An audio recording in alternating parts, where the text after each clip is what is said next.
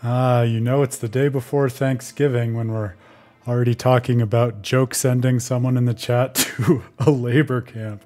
Ay, ay, ay. Only on a JRPG stream. Friends, thinkers, gamers, regulars, grail, and pottery, and newcomers and lurkers alike. Welcome back to Tales of Praxis. I'm your host, Aaron Suduiko, the founder of WithATerribleFate.com, your first and final source for all literary studies of video games, uh, our favorite literary uh, medium or audio-visual medium or whatever kind of medium you care to think of it as, uh, as we were discussing in the pre-stream conversation. Uh, it's Hump Day. It's also the day before Thanksgiving uh, for those of you in the States who observe, which I think is a nice vibe to have for a game like this. Of course, on Thanksgiving, and I imagine I'll probably tweet about this or something tomorrow, but I'm always in a constant state of such gratitude, not only for the thoughtful stories and lessons that are created and expressed through this medium by the many thoughtful uh, creators and game designers in it, but also for a community of thoughtful gamers who bring so many different perspectives and interests to this wonderful, multidimensional, interactive landscape that is gaming, uh, and who, at least to my eye, seem year by year, sometimes even month by month or day by day, increasingly attuned to and excited about the literary content of these games, uh, how to read them, and how that can inform who they want to be and what they want to do in the world, which is so much of what we're concerned with at With a Terrible Fate, and specifically, as you might or might not know, on Tales of Praxis. And there you go. It's nice for days off as well. Nice for days off to take a minute to breathe and rest and recuperate and get ready for the holidays. And also, if you can find a moment to sit in gratitude, I think it's good for that too. Oh no, you have to work on Black Friday, Grail. I wouldn't wish that on my worst enemy. I hope you make it through in one piece, but I'm sure you'll tell us about it afterwards. Uh, it's a nice um, tone to be setting for this particular game we're exploring right now, I thought as well, because as we've been talking about, while Tales of Graces F is about so many things, certainly one of its central considerations is friendship. Especially over the last couple of streams, we've been thinking about both the positive and negative aspects of friendship, as Sophie has found herself struggling with the idea of um, how something like a pact of friendship um, confines and constrains her in certain ways and structures what she can and cannot do relative to other people. And I think seeing that idea of friendship and those relationships with others through the stance and perspective of gratitude um, is something that we have not thought about explicitly, and we may not even need to discuss explicitly. But I think having that as part of the disposition with which we work into this stream uh, not only on the eve of Thanksgiving, but also when we are in um, perhaps the bleakest area of the world to date. I think it's safe to say the bleakest area of the world to date. Uh, one that I, I, have to imagine intentionally was based pretty firmly on the USSR, based on a lot of the tropes and elements of it that we were discussing last time, and I'm sure we'll continue to discuss. Nice to think about what the game might be saying about gratitude in one way or another.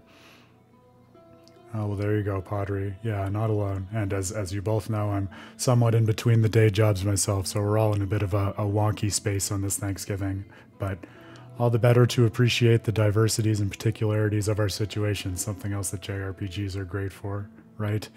Uh, for those who are not as familiar with Tales of Praxis, it's a project that I undertook for With a Terrible Fate uh, the better part of a year ago at this point.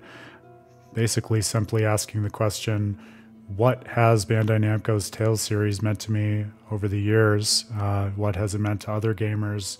And what are the lessons it's trying to impart through the language of its storytelling across all of these incredibly rich and thoughtful and distinct yet interrelated games uh, that make up the Tales series?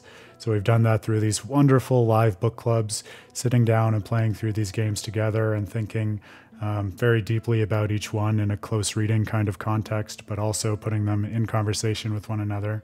Uh, and then I've also been publishing my own longer analytical studies on them, trying to get to what I think um, some of the core lessons and themes of the games are, uh, which are all available on withtheterriblefate.com. Everything from character studies to small confined looks at particular moments to uh, extensive, let's say, uh, intertextual readings between different games. So, encourage you to check those out. Oh, I also said uh, on Monday that I would plug the new podcast episode, which is in fact out. So, if you're a fan of podcasts, if you want something gaming themed to put on in the background of whatever you might be doing over this Thanksgiving interval, uh, Dan and I have something new for you. I'll drop the link in the chat. It was a really fun one. I think I talked a little bit about it on Monday, if I remember correctly. But the idea was basically um, I'm someone, especially, who, as I was growing up, and even after I was grown up for a long time, I really um, I made it a point, and I think I almost took it as a point of pride, only to really sit down and play one game at a time, so that I could really focus on it and be fully present and engaged with it.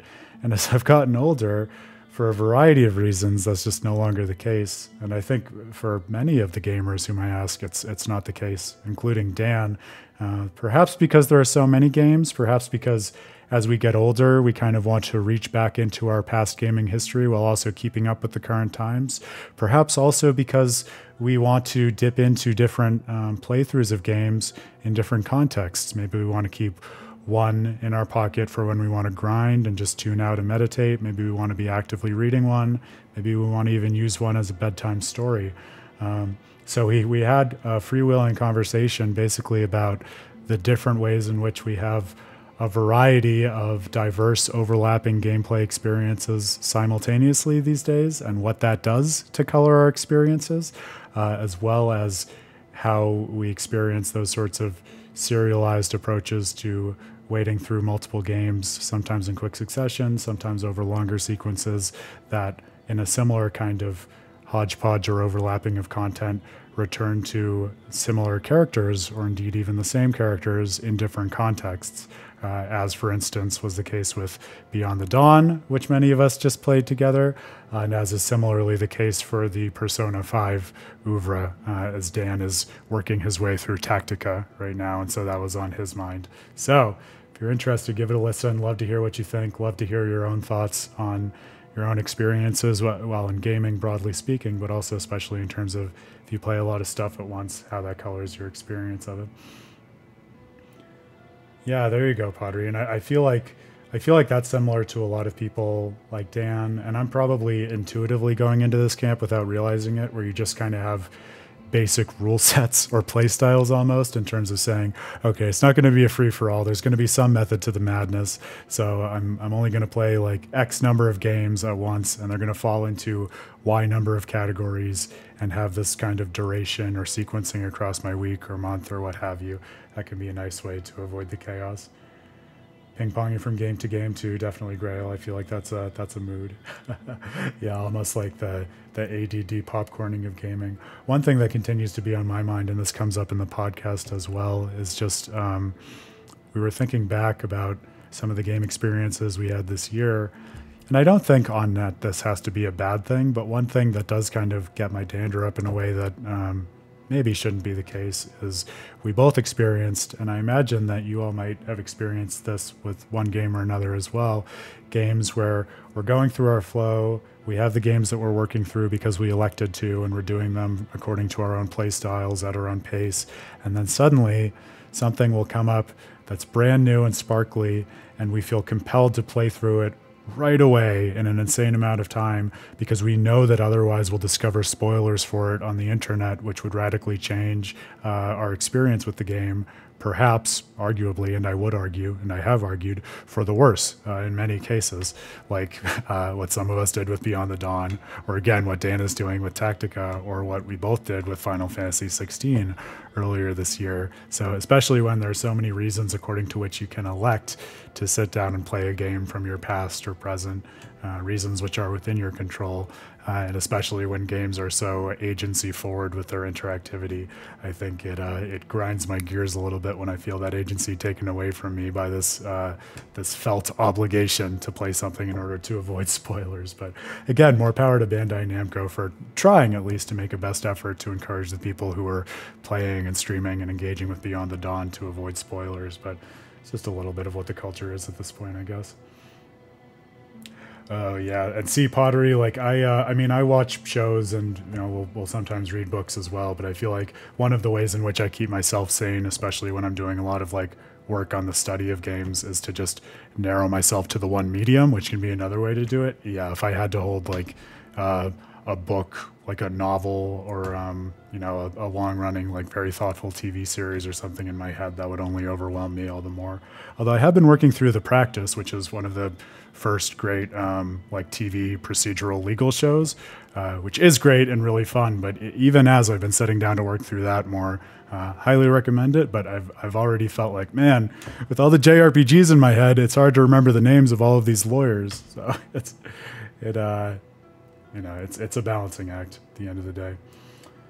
Uh, no, I don't think Malik does pottery. We looked at that at the end of the stream last time, so we're uh, we're keeping an eye out for it. But I'm sure I'm sure that thing that you're waiting for will come up sooner or later. No doubt about that.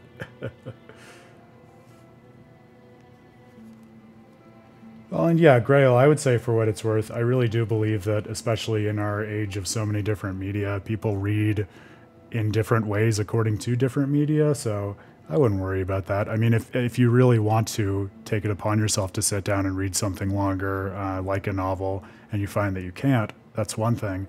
But if you just really enjoy in the abstract the value of reading, I mean, as you said, that's what you do with manga. That's evidently what you do with games. So it's not as if you aren't getting your reading in, uh, for what it's worth, if you want my opinion. Um, I am continuing to work through the uh, more academic philosophy article that I've been alluding to on the last few streams, uh, which is edifying but intensive in its own way.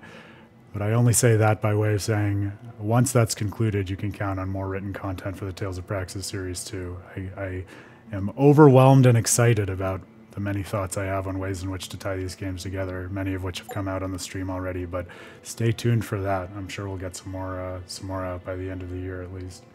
Oh yeah, he's been keeping me honest. You don't have to worry about that, Pottery. you know Grail's great for that. Uh, I titled this stream one Day in the Life of Captain Malik, which is a maybe somewhat obscure reference at this point to this uh, this classic novella called One Day in the Life of Ivan Denisovich, which I think was the very first book that I read in a freshman English course um, in my high school days.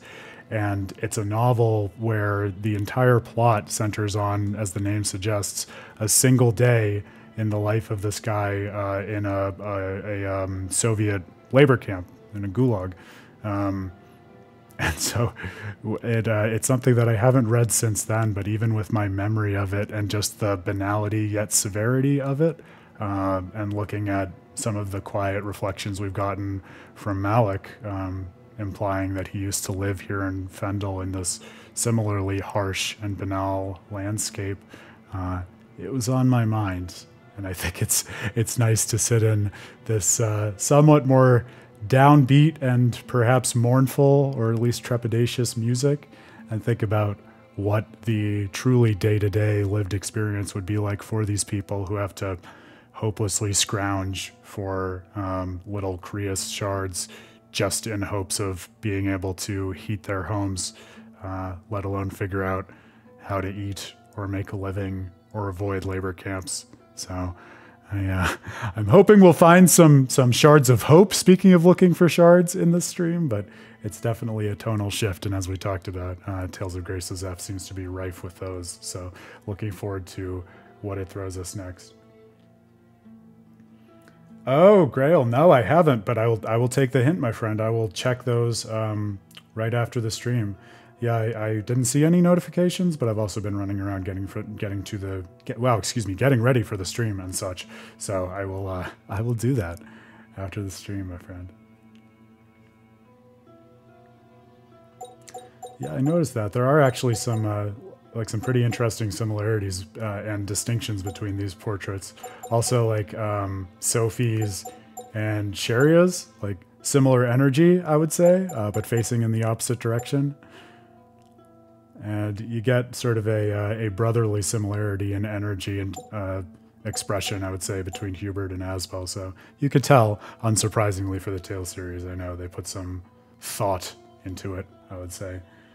Speaking of thought, let's get playing. Let's get thinking. I uh, I know Grail at the very end of last stream. You said we had a missable side quest here at the end, so I figure I'll start there, and we will work outward from there. Welcome back, my friends, to a thankful middle of the week Tales of Praxis.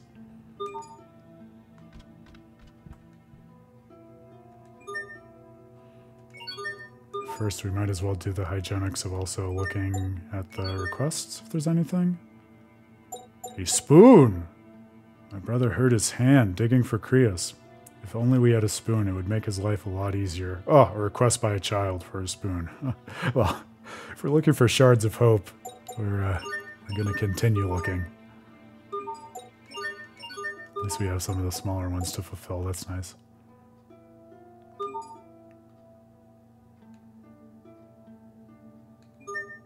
Your reminders are never worthless, Grail. If anything, it's the frequency of your reminders that helps me to internalize some of them uh, and hopefully make your life a little easier by having to remind me a little less. So it's a virtuous cycle, my friend.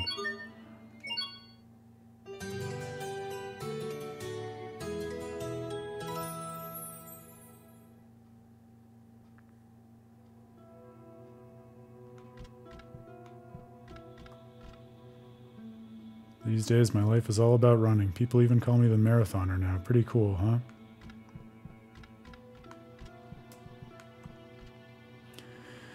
You see that giant hole in the road? It's a crater from an explosion. Some new Windor weapon, I bet. Was the sleeping at the end the thing that was supposed to trigger the side quest, Grail? Because it, it doesn't look like anything was procced. You know that crater south of town? Most people think it was an attack from an enemy nation. But I know that's hogwash. It was caused by a new Aleph powered weapon. A lot of mystery behind the origin of this crater.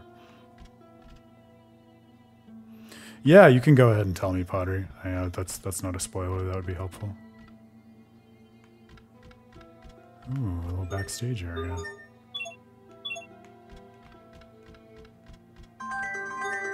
More seeds.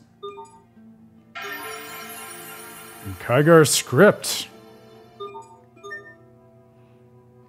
A script written long ago. It's kind of interesting, but kind of not.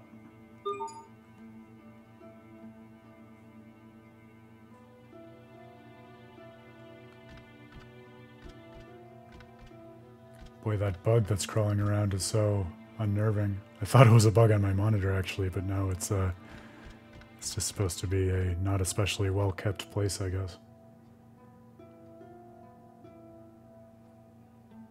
Oh, so what is the what is the something else we have to do? Do you know? Uh, Magna Resolver. Let me let me check for that as well, Potter. Is that an art of Alex or a title? Yeah, we have Magna Resolver. That we do have.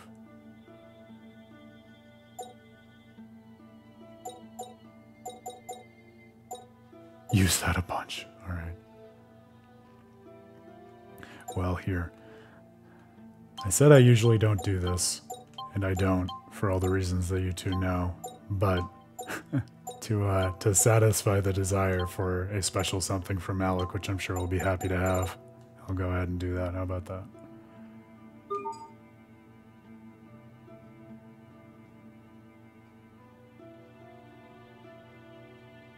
Oh, got it. So we just had to do this first. Well, there you go. We would have arrived at it anyways.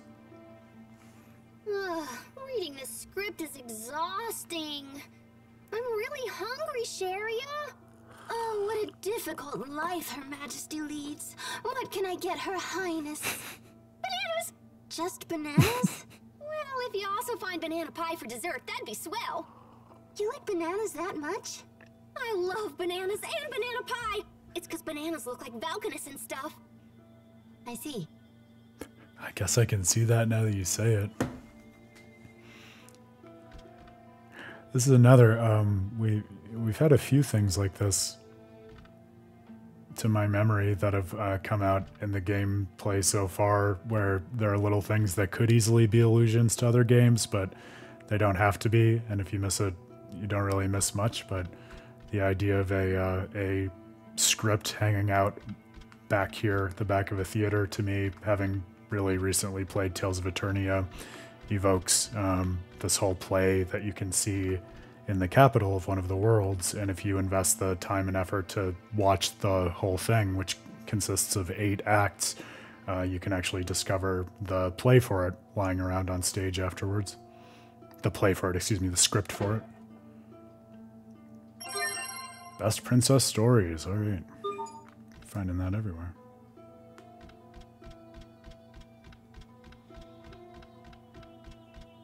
Now there's a skit at the save point. I think is what it said. Alright, well there's no skit at the save point yet. I'll try resting again. Maybe that'll proc it. Now that we saw the skit about the script. Well, about bananas, but the one that was triggered by the script.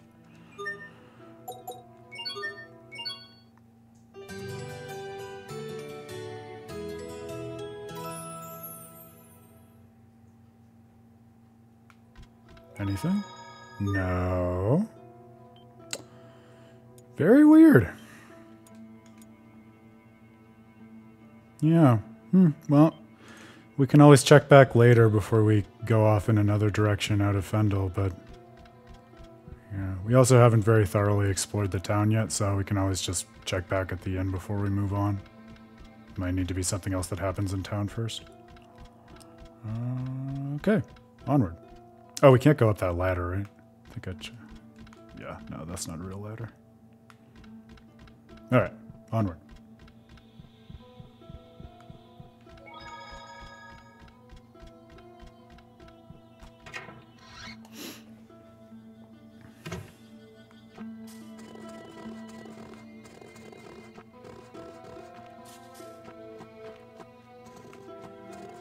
I don't think we went in here yet. Hey, my mom's sleeping. Don't wake her up, okay? Oh god, just the overwhelming poverty in this place. Especially starting out in a place like Lhant. How far we've come. Bush baby plushie! Alright, that's what I'm all about. A stuffed toy of a bush baby. It's nice to have around when you're feeling lonely. You have three different kinds of fish, I can make you a seafood set. Please. Uh, okay. I'll do it. Hope you don't mind, but I kept the leftover bits for my mom. Oh my god! Can they make Fendel any sadder? I think they can. Careful what you wish for. A secret seafood combination known only to chefs. Your choice of any three fish or shellfish.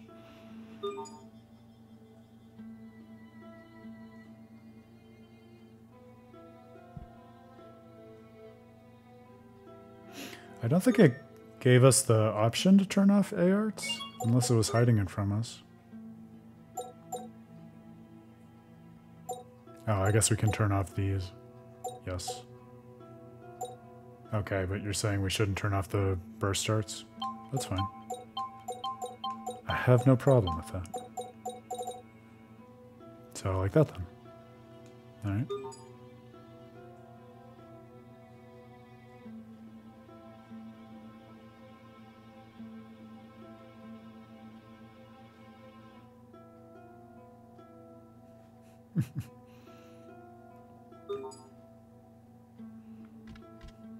Is a very nice aesthetic, isn't it? Oh, the sad looking cat seems to want fish. Even the poor cat is starved. Well, we gave it a crab at least.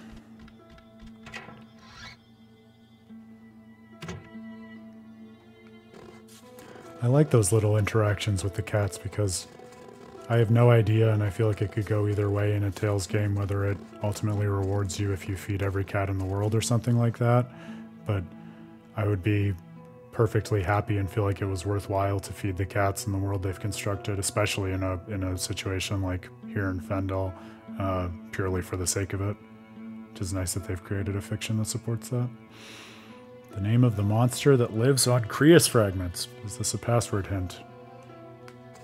Yeah, it is. Um, but can I remember the name of that monster that was right at the end of the last stream? That's another question. That's it. It's Rockagong. Ah, got it in one. I can cheat because, uh, well, I don't really consider this cheating. This is just using the resources we have. Stratium. There it is. Because I remembered that it was a horn. Mostly thanks to Tales of Vesperia rather than uh, Tales of Graces, but it worked out.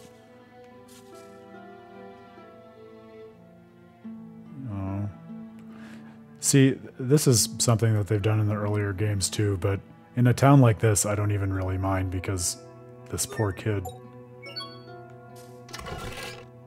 Oh, and we got the spoon. There you go. So we got to make life better for the poor kid who's extorting us and also the poor kid whose family is um, starving or losing heat, whatever the case may be.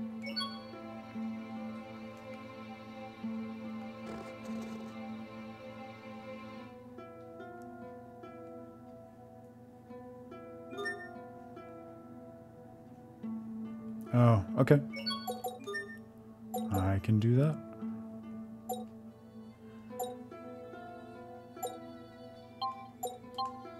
So then it would be like this. Burst artes are off. He has the lower CC assault arts, but um, but corruption claw, which is also 3 CC, is off. There we go. Oh, did I put the burst artes back on? Alright. Oh my goodness, the things I do for you guys. Kidding. There. Alright. Hopefully we're all happy now.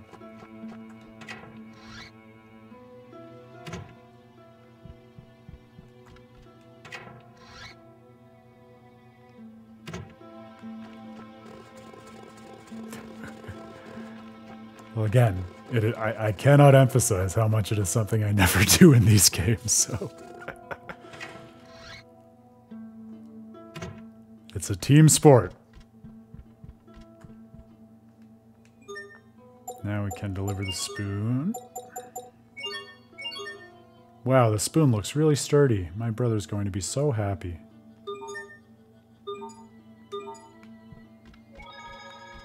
It still hasn't triggered anything at the inn.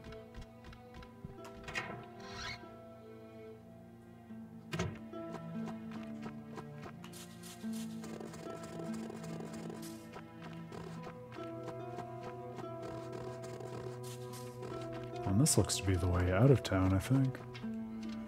I participated in the invasion of Lhant. Their lord was no ordinary man. I've not seen a stronger fighter in all my days. And not just physical strength. His strength of will was, well, it was a sight to see.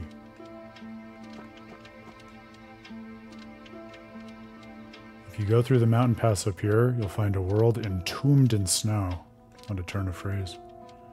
The road to Zavhert is long and hard. Make sure you're ready. Alright, let's do that. Get a title for Cheria.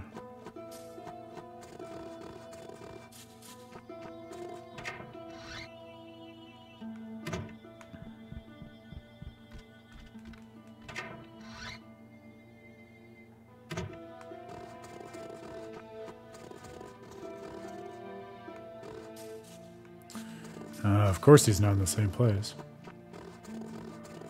Where are you hiding? You sneaky extortionist.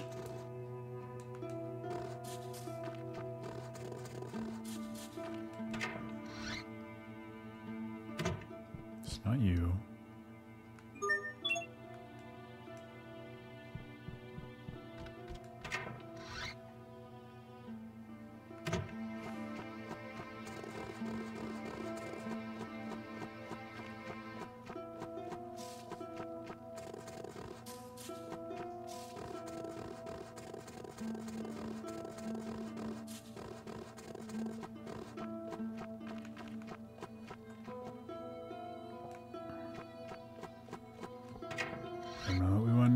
Time. saw her, the little miscreant who made the crater outside of town. It was a woman, maybe 20 or so, and her clothes were like, well, like this girl here. Actually, she looked just like this girl. Ah, Pascal. I had a feeling it had more to do with that crater than you were letting on.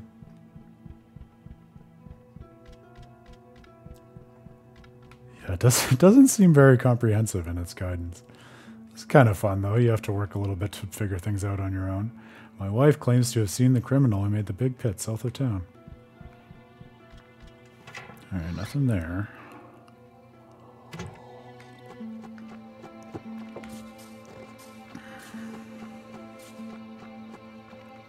Is this the kid?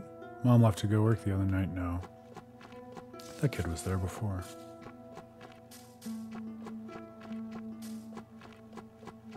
The exit. Can we get in there? I don't think we can get in there.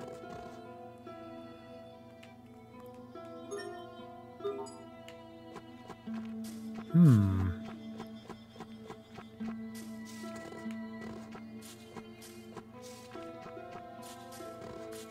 I don't think we've been back into the inn since he relieved us of our cash. I think that's the last place. Otherwise, we can just come back later, I suppose.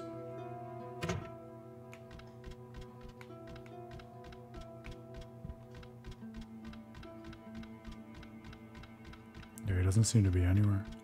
Oh, maybe backstage? We didn't check backstage. No. Oh, but we um we got the name of the monster, um, Stratine, if I can remember how to spell it. Stratine.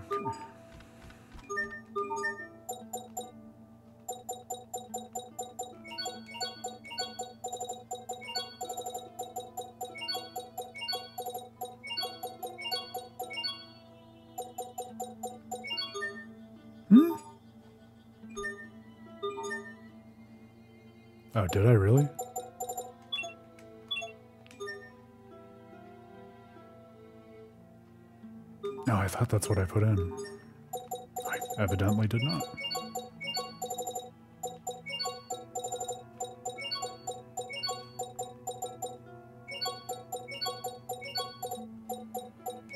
There we go.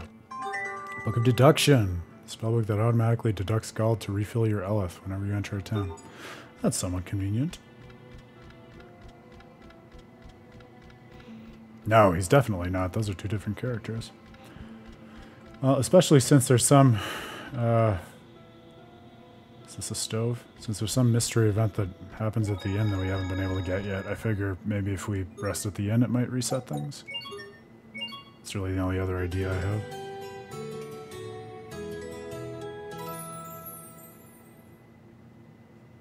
have. well, at least one of us has Hawkeyes.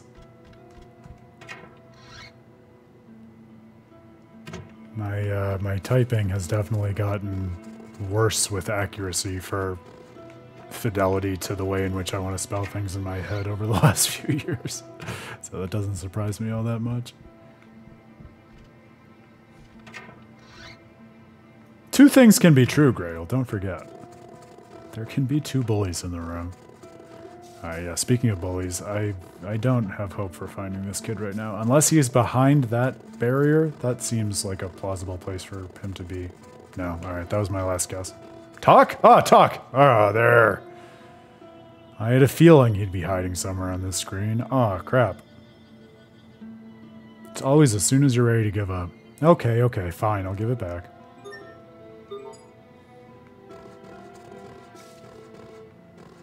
I kind of wanted him to have it. I feel so bad for the people in this area.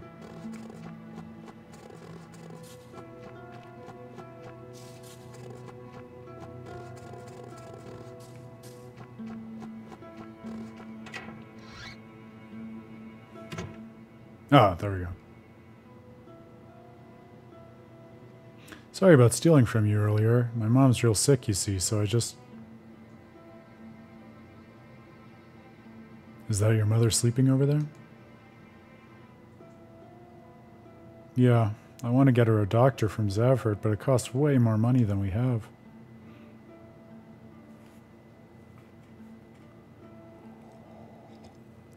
How much do you need? Well,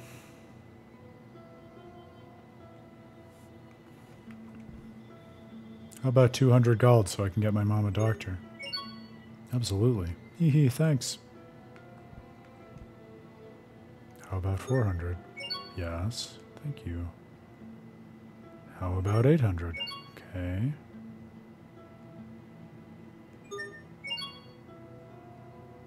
We're gonna run out of money at some point here. I think this might be it. Yeah.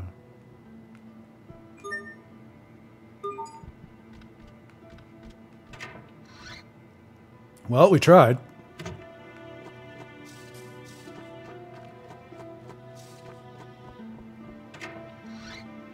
Twelve thousand eight hundred. Oh yeah, yeah. That's a lot of gold at this point in the game, which is, I suppose, the point. But still.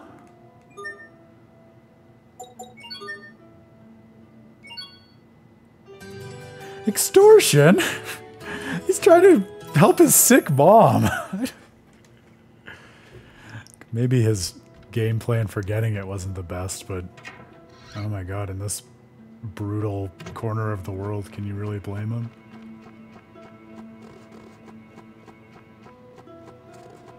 I just don't know why he wouldn't tell us the amount it costs in full. That part is hard to square with the rest of it for me. Well, let's see real quick. Is there anything that we can dualize and then sell in order to make some scratch? uh, you forget, we don't have a unicorn horn. Otherwise, it would be bing, bang, boom, done. This is 100, yeah, the exact same amount.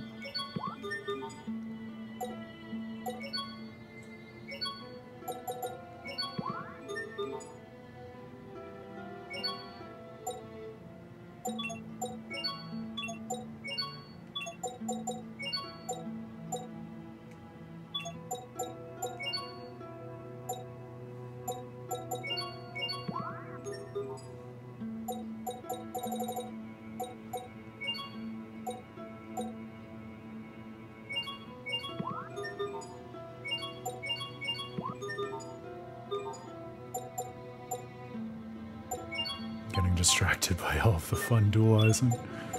Let's see, how much gold does that get us? Well, it gets us enough to give him more gold, I think, but it sounds like, from what you said, Grail, that's not going to be enough. We might as well go the same rung. I have to imagine he will stay there. Usually those sorts of gold quests are not time-boxed. I've heard great things about it, Pottery, but no, I have not played it. Have you?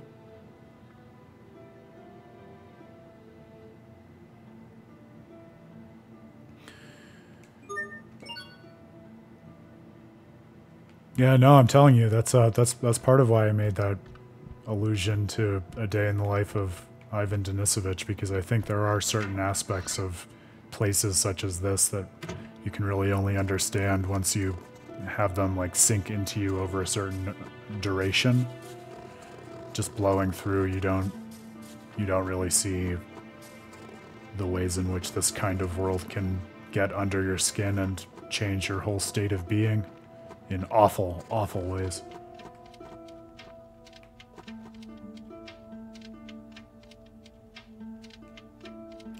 The only thing I heard about the remaster because I'm so outside that community was I guess there was some controversy, right? Because it didn't um, like include the English dub that the original had or something like that. Yeah, as, as I said, and I'm unsurprised to hear that you loved it, Padre, based on what I've heard elsewhere, but uh, it, is, it is such a beloved game for reasons that, as I understand it, are right up my alley, so it's definitely on my list.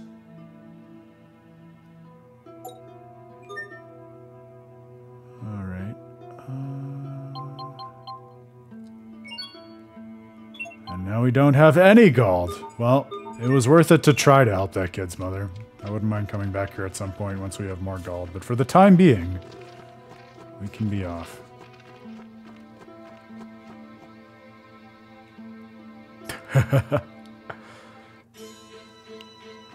Well, there you have it, Potter. Asked and answered.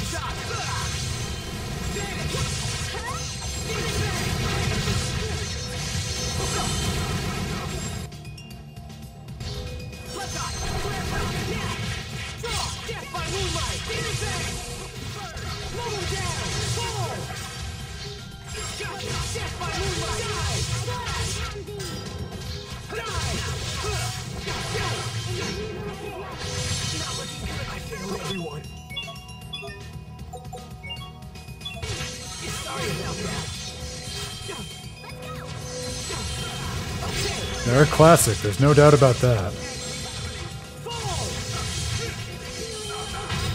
Gotcha! I failed everyone. Oh my goodness.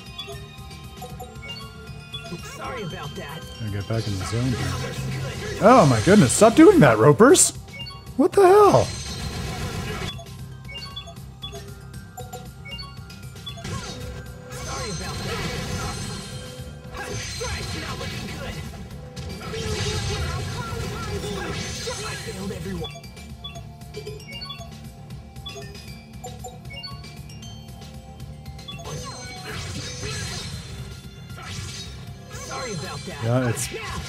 People. gonna- People have a bad time living here. You're gonna have a bad time fighting through the enemies here. It's just, it's just bad all the way down.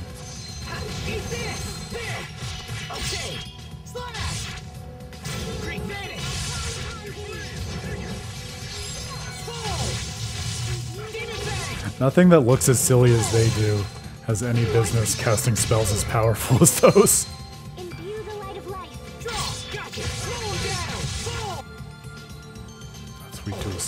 Arts. Okay.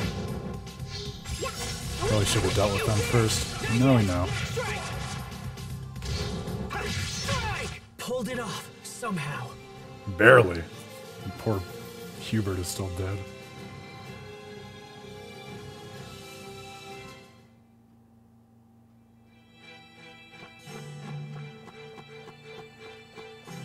So which title are we looking for for Malik to unlock? So I can keep an eye out for that.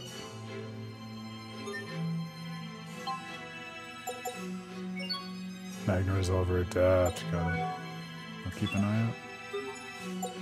I'm missing Pascal. I'm gonna put her back in the party somewhere. Um, we just got Hubert, but I'm missing Pascal. I'm gonna rotate her back in. There we go. I'm trembling. Why?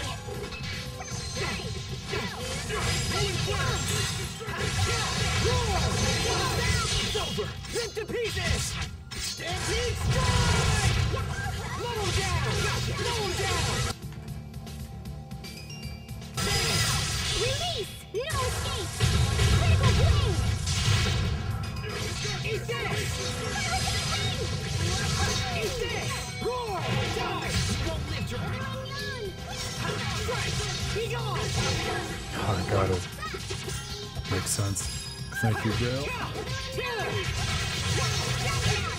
I hope I was of some use.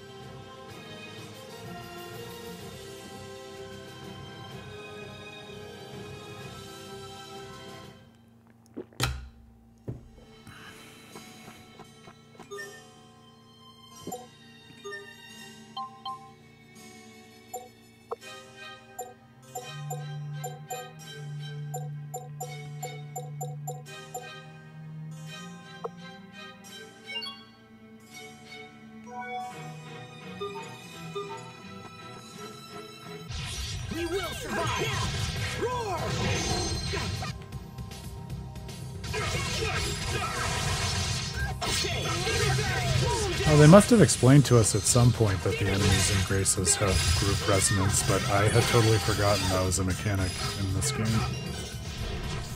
That will change how I play some of these fights.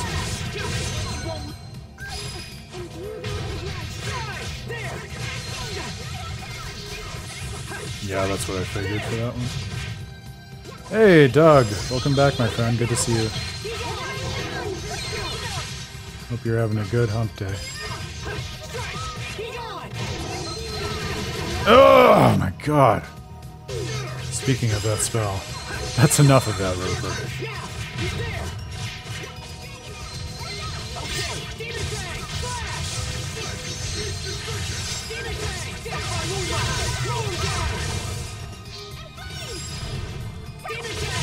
What's our motto? Never give up! Yeah, we, we missed you. Yeah, stream's up on YouTube if you feel the occasion to catch up asynchronously at some point. Platinum Tunic, alright. And a hard scale. This I gotta see.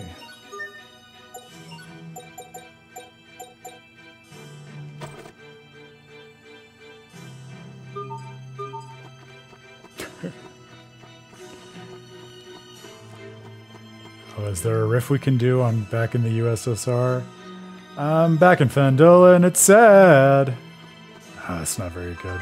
I want it to be better than it is. The cold hard truth. Oh, It sure gets cold inside these caves. This isn't a cave. It's a tunnel through the mountains built by the Fendelian government. Humans built this? That's incredible. Yes, and ever since its completion, Fendel has pestered Windor with incessant incursions. If it wasn't for this, Dad might still be alive. Hmm. With Fendel free to torment Windor as it pleases, there can be no peace or joy for Lhant. Peace or joy. Those words sound odd after seeing the people of Velanik. Are we the victims here? Or are they? And if Fendel is the greater victim, what do you plan to do about it? I don't know. But someday, we may have to come up with an answer.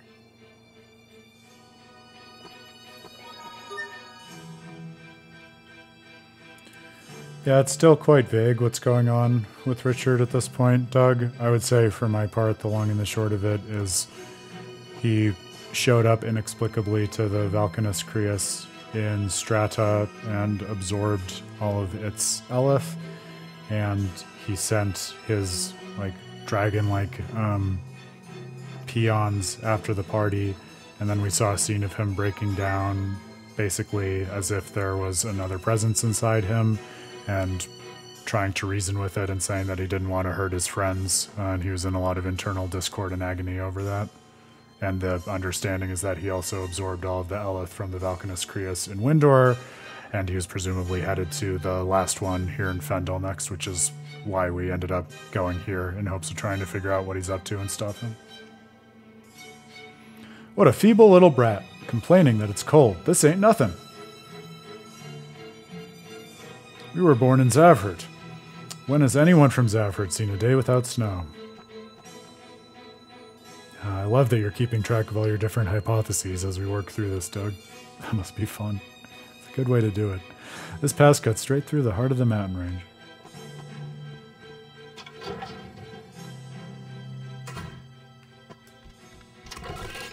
Suspicious powder. It looks suspicious, but truly is used in legit medicines. The description said very believably. You can sell it for 1,647 gold. Oh, valuable suspicious powder. I'm in. Items are strange things, aren't they? They come in many different forms and have many different uses. People call me the spry scavenger. Ha ha, it feels good to have a title.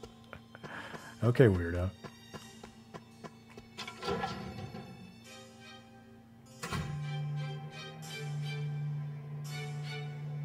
Yeah, you know, they just uh, flail around and throw magic and arms and sometimes magic arms at you. Very regular. Lots of fun. If you head left and exit the tunnel, you'll emerge in the Fendel Highlands. If you're trying to get to the capital city of Zavhert, the Highlands are the way to go. Oh, we can't go any further. You monsters.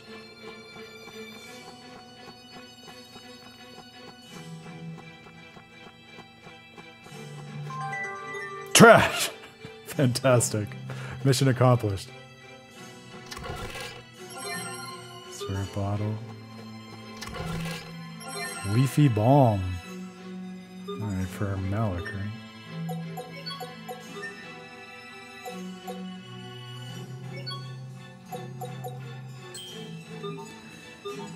Yeah, quite a different soundtrack for quite a different country. I Really like it.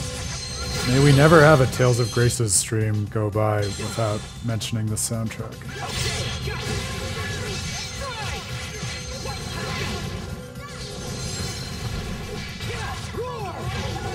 Yeah, I imagine even just his moveset of casting into Rapier would fit pretty nicely with uh, the way Smash Bros. goes.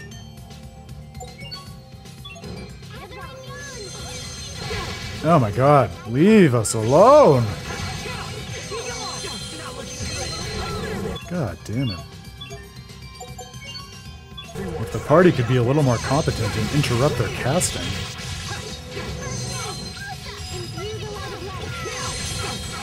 Wow, they cast so quickly too. That's part of the problem.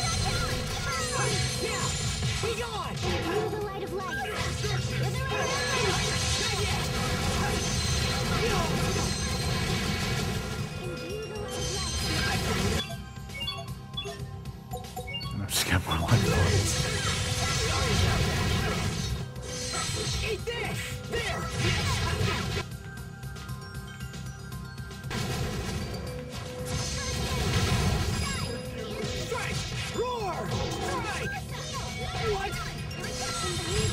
I failed everyone.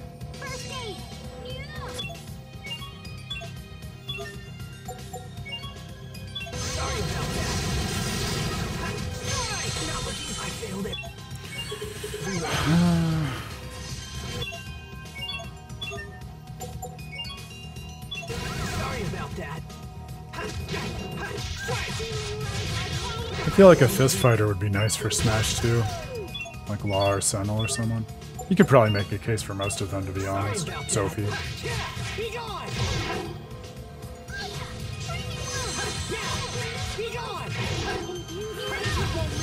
It's an inconclusive sign, though, Grail. I'm not not willing to decrease it or grind yet, but I will. Uh, keeping an eye out.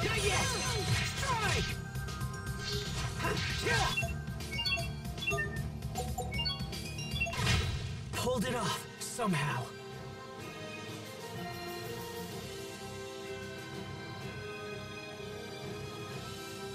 Yeah, sometimes just a certain enemy type will do it, and it may indeed end up being the ropers.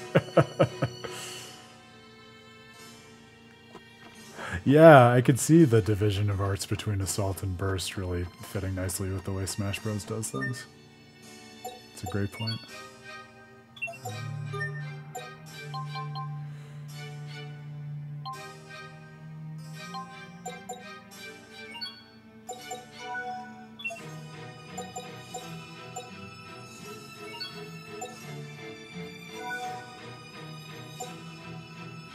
use these herbs while we're here. That won't hurt.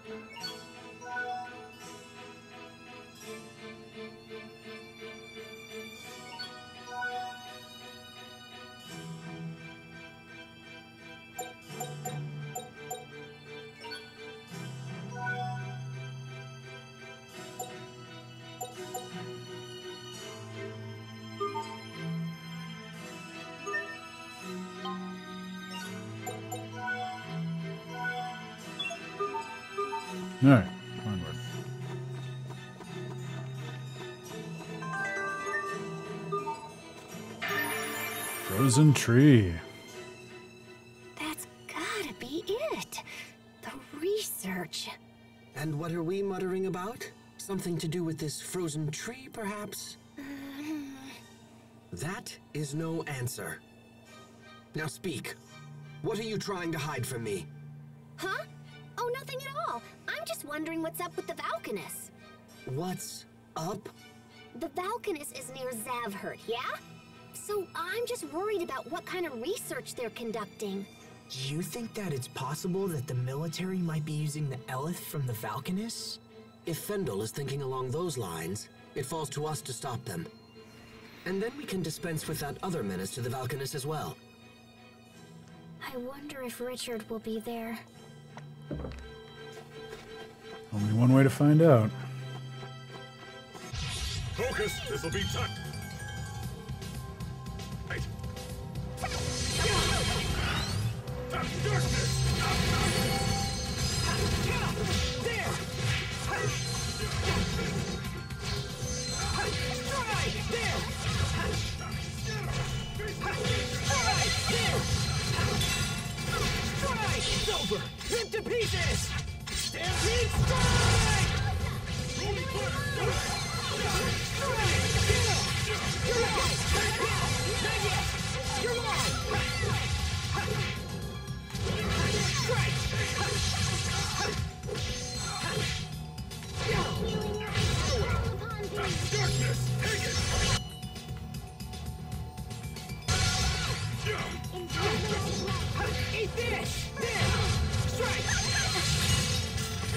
When they're not casting, they still suck, but they're at least manageable.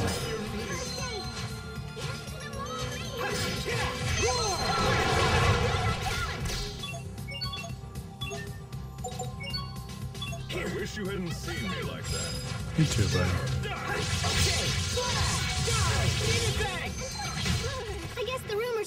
I really am that awesome.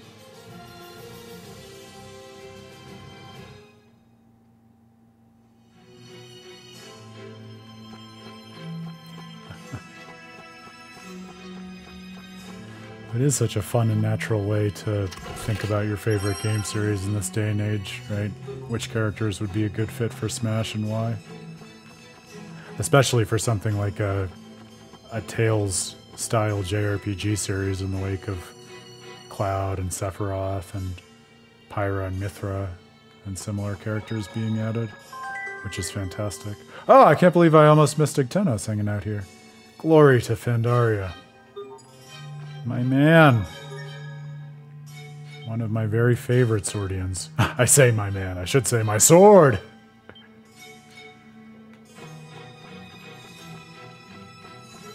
Oh, it's a one way path, I see. They got me. No, that's alright. Wasn't a very long path.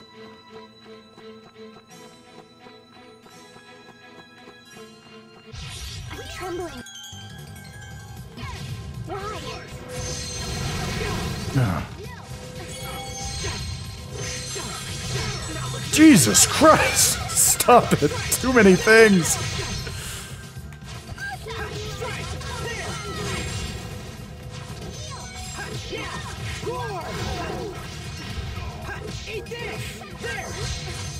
I don't know if this is a great time to be focused on doing fun title building things with Malik because I have to imagine his lack of access to arts is part of why he keeps dying.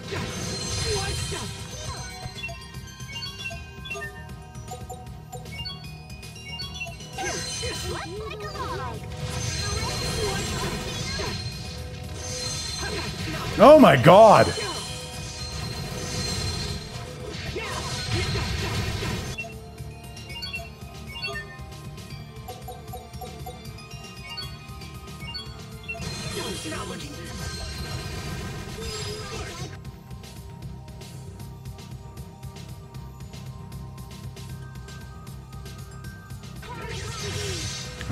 Feeling it. I'm really feeling it.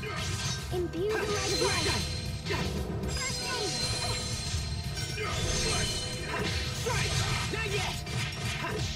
Chaltier is so sad though. I get, you know, of all the Swordians having Chaltier be your least favorite, but I just can't help but pity Chaltier for very similar reasons to my pity for Leon, you know?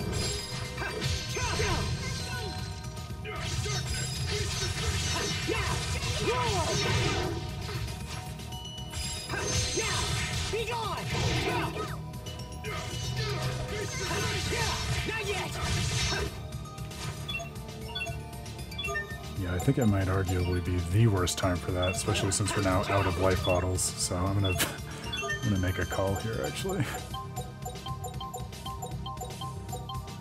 Not a time for us to have half a character with us in battle.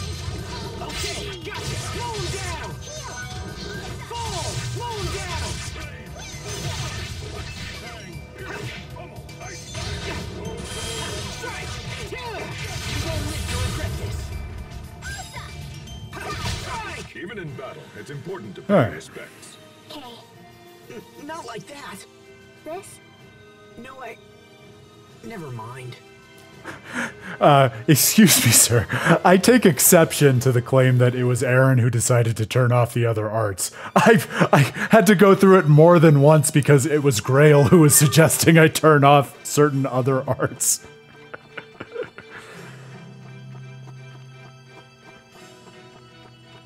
I might have considered it as a possibility because you all mentioned it several streams ago, but Grail was the one who took me through multiple iterations of that. No, Grail is telling me to turn off all the burst artes.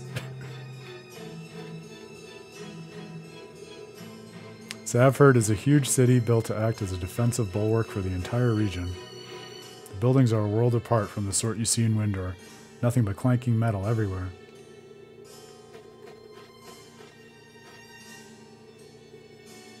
It's a conversation starter, Doug. It's a great one.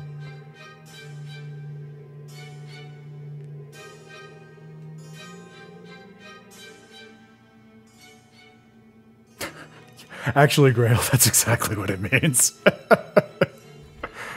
oh my god, you all. I say so many times that that's something I never do, and yet somehow in this stream where I mysteriously ended up doing it for reasons other than myself, I get all the fucking blame and none of the gratitude. Ah. None of the gratitude on a stream that I spent like five to 10 minutes at the beginning of saying ought to be specifically about gratitude because it's the day before Thanksgiving. Oh, can't win for losing. Sweet snowflakes, is that the Rockgagong flute? This? Yeah, I guess. We found it in the Rockgagong stomach. G- g- goy? Papow! Hod farg! Okay, that was weird. You can go back and argue it was my idea. I will fight you tooth and nail on that pottery. but I invite you to try. Thank you, Grail. I appreciate the appreciation. Hey, don't call me weird or I'll give you a big, fat, sweaty hug. Brr. No, thank you. What the hell is wrong with you? I was ready for the worst when I came here, but now I found an even worser worst. Well, that's that. Might as well head back to Zavhert. You really will go to the mat for the funny. Bring it on, Pottery. Bring it on. Anybody know what he was talking about? Let's just pretend we never saw him. I think that's a fantastic idea. Hey, what are you idiots standing around for? Move it already. If you have something to tell us, then out with it. We're not so idiotic as to follow you around in a snowstorm. And who's the idiot here? Are you saying it's me? This guy's a real freak show. Hey, Missy, you were just thinking I'm a freak show, weren't you? Uh, What? No, I just. Enough. Just tell us what you want and be done with it. Fine, fine. Well, you know that Rockgagong flute you're carrying around? It's actually mine. Wait, are you the guy from that house in the Rockgagong stomach? What kind of weirdo chooses to live in a stomach? I'm not a weirdo! Didn't you read my letter? I vaguely recall a letter, something about saving the Rockgagong because you could not, yes? I have to admit, I thought you'd look different. Hey, I was just trying to put some drama into it, you know? This guy's a serious pain in the. Anyway, don't worry about saving the Rockgagong anymore. I just want you to save me. Will you please, for the love of all that is good and holy, get to the point? Okay, okay, sheesh. So it's like this. I want to present my Rockgagong findings at the upcoming Academia conference, but no one believes they're true. Academia conference? Judging by this man, I have my doubts as to the conference's veracity. I want to go to a Macadamia conference. Hmm. I said academia. And I may not look it to you, but I'm actually a phenomenally skilled researcher. I don't trust this guy one bit. I think he's trying to trick us. No tricks, I swear. See? I just read your mind. You have to believe me now. But anyway, here's the deal. I need some Rockgagong fur. I posted a request in Zavhert, but no one's taken me up on it. Perhaps they're smart enough not to get involved. You wound me, sir. So, you want us to find you some Rockgagong fur, is that it? Yes, exactamundo. Anyway, I'm heading back to the city. Let me know when you get it. Wait. I don't suppose you know how to get such a thing. That's why I'm hiring you. Sheesh. You're not coming with us? I thought you wanted to get back to the Rockgagong. Nah, I gotta pass. I'm gonna go home and warm my feet by the fire. But good luck. Yeah, another reason to face the Rockgagong. I smell. Well, I'm fresh out of ideas. I doubt the beast has fur on the inside, which means we'll need to procure some from its outer layer. Wonderful. Think that takes the cake for the most outlandish side quest interaction we've had so far. In at least in this game. Maybe in many of the games I've replayed for Tales of Praxis so far.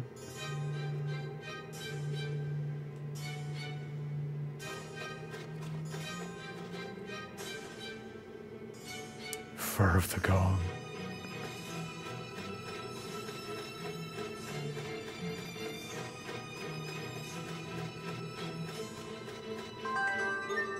Oh my god, all this trash just adds to the general despair of the region.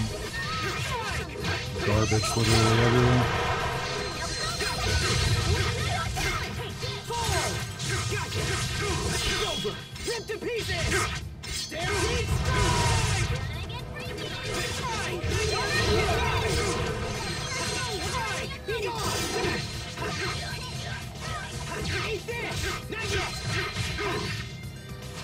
Oh my god, I was about to say, felt like we were handling these enemies way better than the ones in the cave, and then I turned around and Malik is dead already.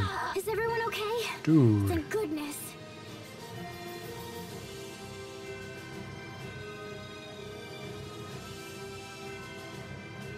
National celebrity.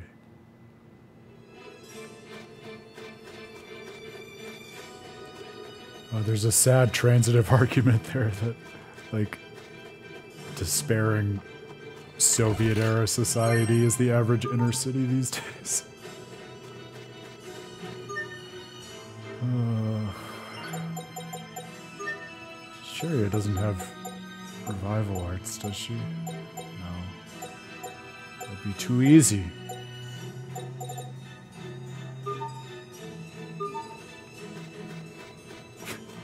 Everything in Fendel is a harsh breeze. Chaltier, ah, speak of the devil, will appear. Will always be my young master. Oh my god. Rend me in two. These cards are descriptions. A scabbard made of solid gold. When you bite it, it leaves a mark. I don't know about biting it, but I will equip it to Asbel.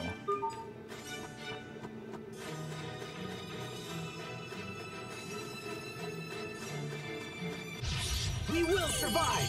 Oh, does Sophie have a revival art? I don't think so. Not yet. No.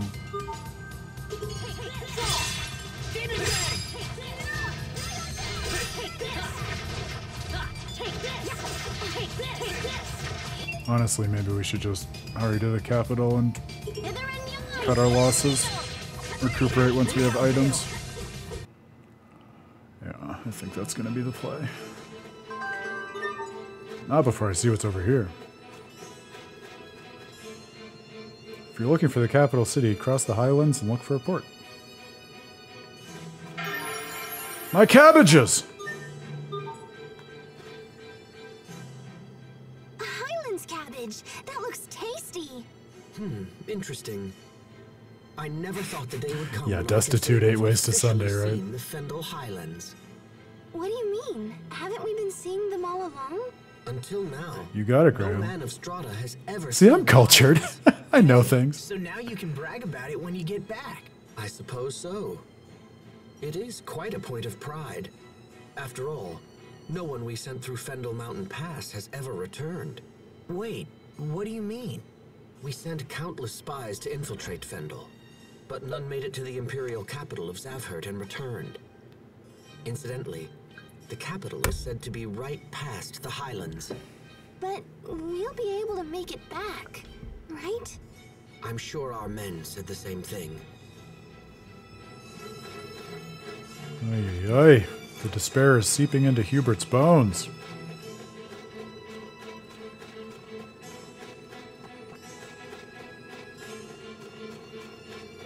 At least we can outrun the enemies on the map.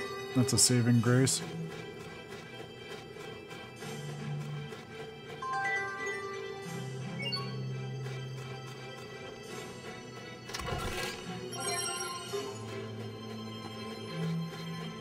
No, thank you.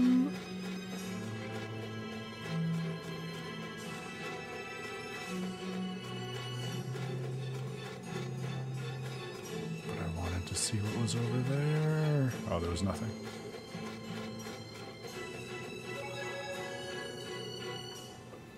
How long can it keep snowing like this? I'm freezing here. Hey, uh, Sophie, how about you and me cuddle up? You seem in high spirits. Meh, I don't mind the cold so much. But you've been making a big deal about how cold you are ever since we got to Fendel. What a message. Okay, I get it. You just wanted to touch her. Go ahead, Sophie. You can tell Pascal to shove off. Sophie? Hmm? Oh, yes.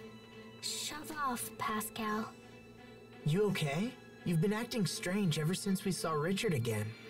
That's not true. I'm okay. Just trying to remember who I am. No big thing. Probably won't come up again.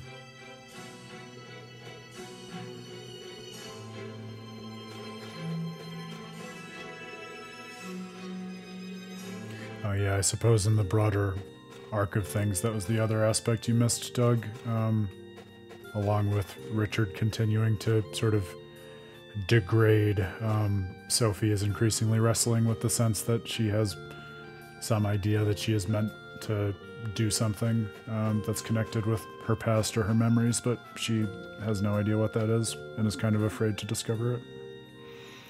Rumor has it the government's hatching some kind of enormous operation right now. Some of the stories even claim the Martians are involved. Oh. I'm interested. It's easy to get lost around here. The sky is so overcast, I can't even see Fossilos. Uh, by the way, just what is Fossilos, anyways?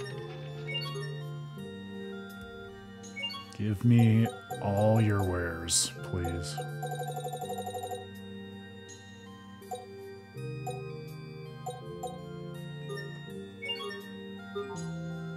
Minimum, that that will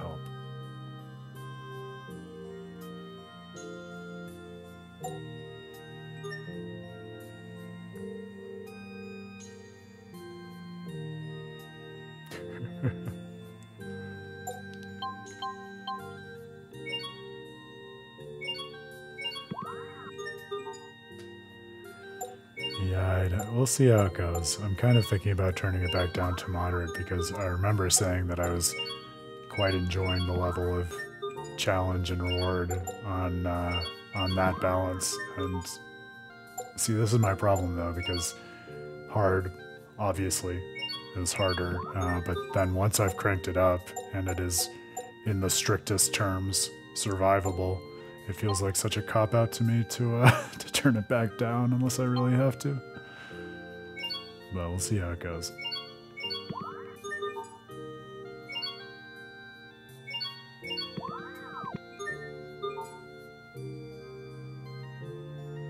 Well, but see, this is my problem, Pottery, because there are so many different kinds of fun, and even when it seems like I'm suffering, it's also tapping into the particular breed of fun that I have, say, when I sit down and play one of Miyazaki's games. so it, it taps into a dark, masochistic satisfaction deep inside of me, and it's hard to turn that off.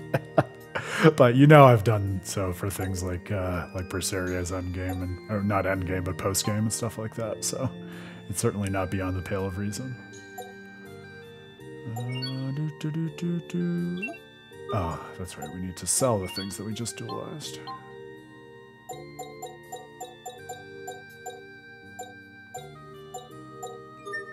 Okay, we have some finances. How about that?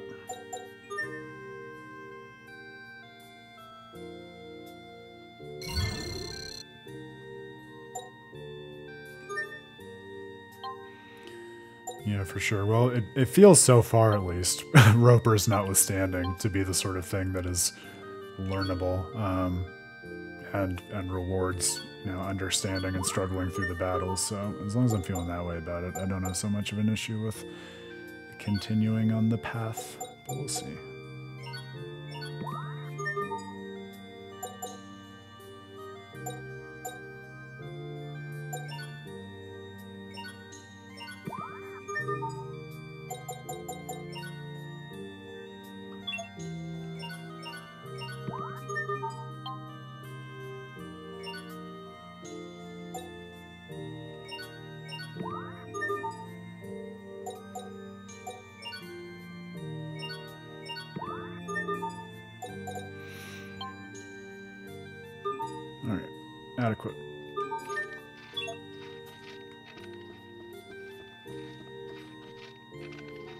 Zavhert's progressed a lot over the last few years, but life hasn't gotten any easier.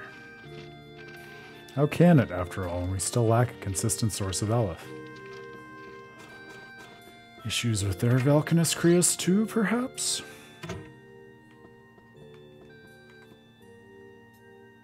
Making a girl cart this luggage in the cold. This is one job I sure wouldn't mind them limiting to men. Pulled freight here for decades. It's nice to see the country grow, but the military's grip on power scares me. Yeah, wouldn't it anyone? Don't forget to mind your manners around Grandpa and Grandma now. I hope Grandma and Grandpa are okay.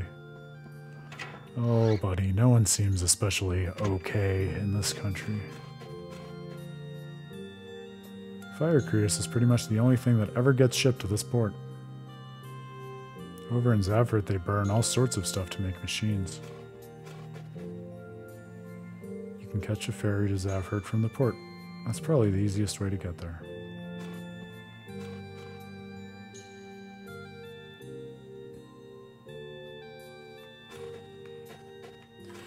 Yeah, the uh, the ecosystem definitely gives it a different sort of utility than what you get in the other parts of the world. Although I, I mean, the desert world of Strahta was also pretty oppressively hot, so I feel like if you think about those as the two extremes of the climate livability spectrum, I could I could kind of see that argument applying to both of them. Don't bother running from those effort soldiers. You wouldn't stand a chance.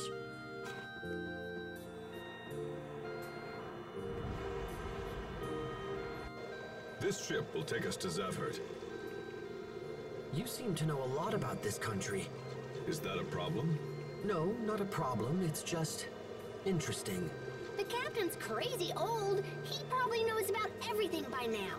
Tactful as always, Pascal. If I had to pick one word to describe Pascal, it would be tactful.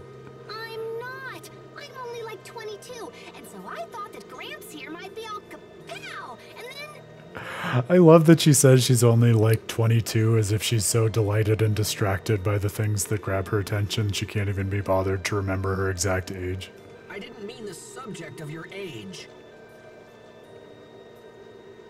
don't fight. Sorry about that, Pascal. Oh, no worries. Doesn't bother me.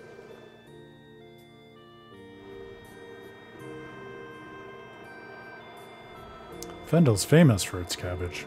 They grow it in the snowfield so it tastes delicious.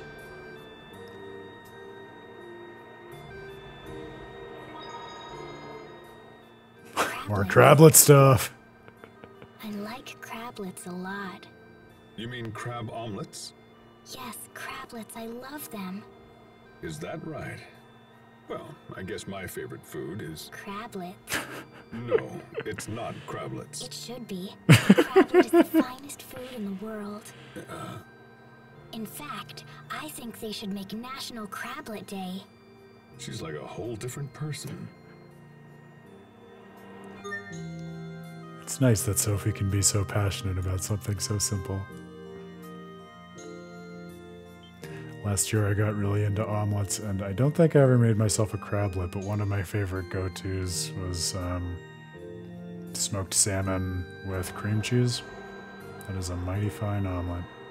Just a little bit of um, Cholula on top for some spice.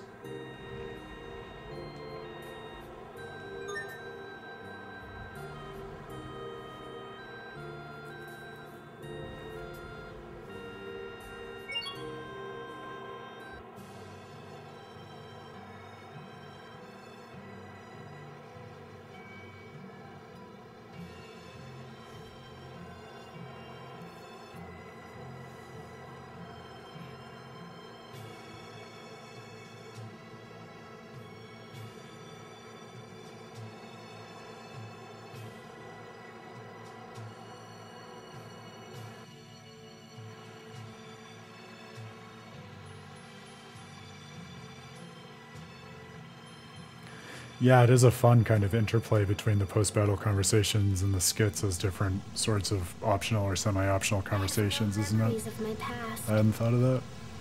All I can remember is being with Asbel and the others when we were children. They say I died protecting them. What does it mean to die? And why does it scare me?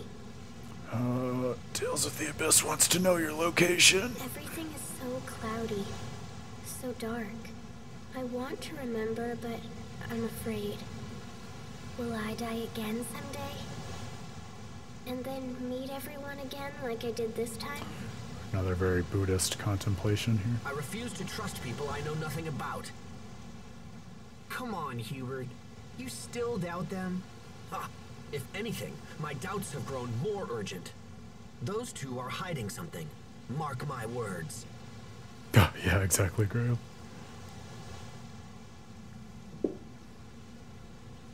Dislike people you know nothing about? Well, yes, I suppose I do. So you don't like me? Huh? I don't know anything about myself. Does that mean you dislike me? No, it's not. You're not hiding things from us, Sophie. You just can't remember. It's different from what they're doing. So it's okay to not know if it's because the person forgot? Um, well, yes, I suppose so. Sophie, where's all this coming from? Nowhere. It's nothing. Oh, you just want to reach out and give her a big hug. Or touch her on the forehead, as the case may be.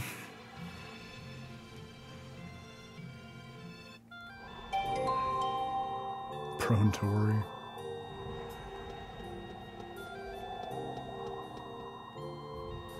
Interesting, too, since she's wrestling with the way in which she's hiding certain aspects of herself from herself to then have the model of Hubert saying that's something that is untrustworthy or you ought not to expect of others to help her wrestle with the idea of, oh, well, maybe if I'm having trouble deciding whether or not it makes sense to remember and engage with my past, there are actually reasons that speak in favor of being brave and doing it, even if I'm afraid of what I might find.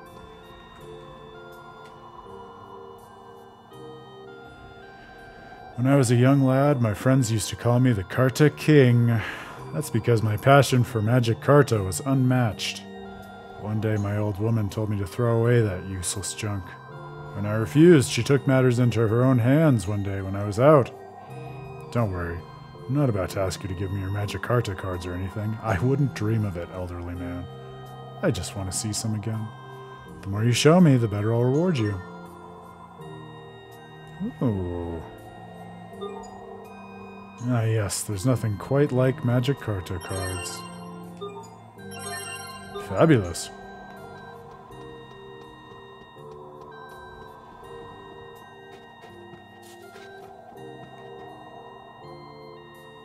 In this country, the army doesn't care if you're a man or a woman.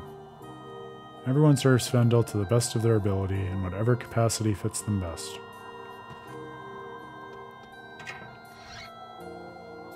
Meaning of life, meaning of work. Oh, were there more rewards we could get from him? Yeah, I'll go back. I thought that exhausted all the ones we had so far.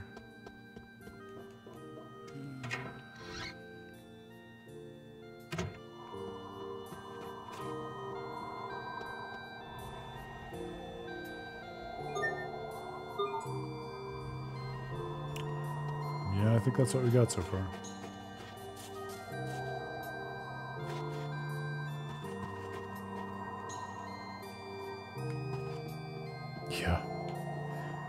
Again, very USSR, right? Like, oh, everyone can serve the state in their own way, and that's empowering. Value of work, value of labor. Don't think about the consequences. Bye, Pottery. Enjoy dinner. Make yourself something good. See you when we see you.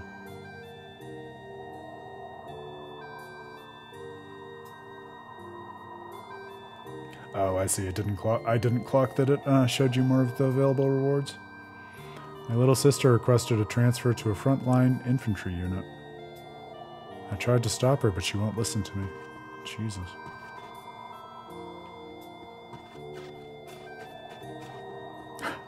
I think cheap iPhones is the tip of the iceberg for this kind of regime.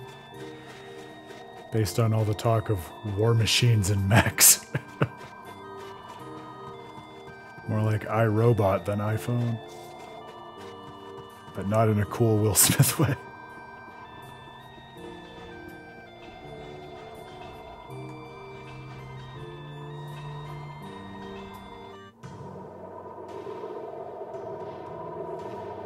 Wow.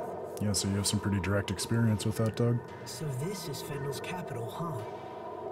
Yeah, crazy how in some ways that history is so far away from us, and in other ways it is much more recent than one might imagine. The fog sure is thick here. Steam is the main source of power in Zavhert. The fog you see comes from their machines. You sure studied up on this place. It's common sense to know about your potential enemies. Oh, well, there you go. Happy ending. I did not take that to be a joke at all.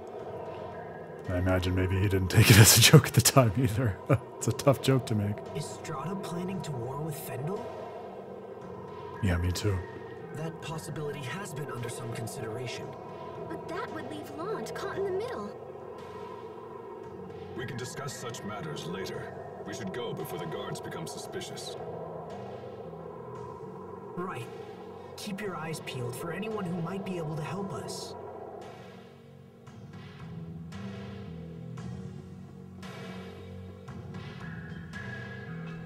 Another great music track for setting the scene. Hold it! You are under arrest. You're not from Fendel. Who are you? Damn. Step aside. I'll take care of this. We've just returned from a mission in Windor. Windor? What kind of an idiot do you take me for? My name is Malik Caesar. I have my credentials right here. Well, this all seems to be in order. I trust this clears up our little misunderstanding. Now, with your leave, we must report to Chancellor Eigen. You're meeting with the Chancellor? Yes, and I would hate to inform him that you were the reason we were delayed. Please, no! I'm sorry. Come on, man. Let's get out of here.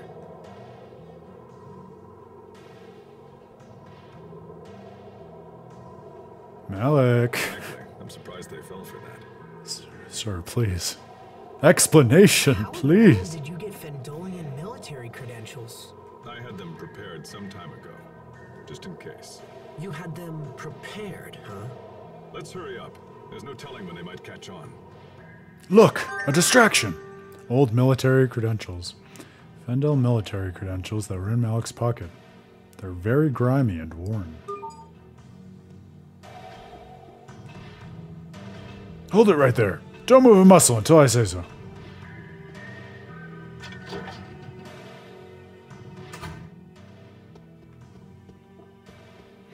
It is nice. I'm surprised it took me as long as I did to clock that those little speech bubble indicators um, set off specific scenes or side quests or things like that. Good to know what to look out for. Ugh. Mommy? I'm not your mommy. Who are you? I'm Sophie. Sorry for coming in like this. We'll let you rest. No, please stay. Mommy's late getting home and I'm hungry. I'm lonely. What? Jesus, maybe I'm hungry. Okay then, we'll stay. Great.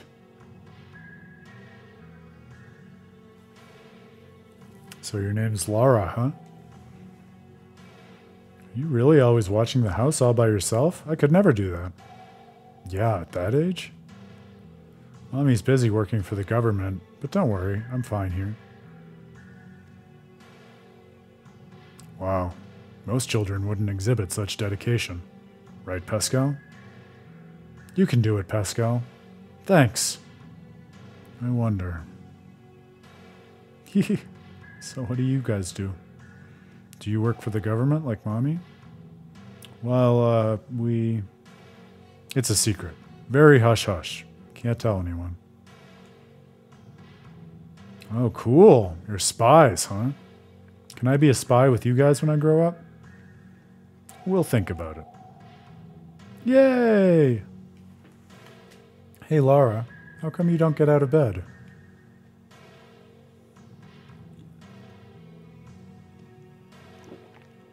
Sophie, that's rude. It's okay. I'm just sick, is all. I've been this way my whole life. Although I'd like to go outside just once. I'm sorry, Laura. It's okay. I'm used to it. But it's going to be lonely when you guys leave. Maybe even a little scary.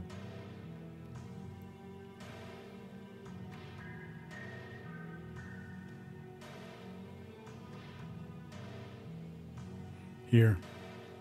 What's this? Think of it as me. Sophie? You're giving this to me? Really? Yep.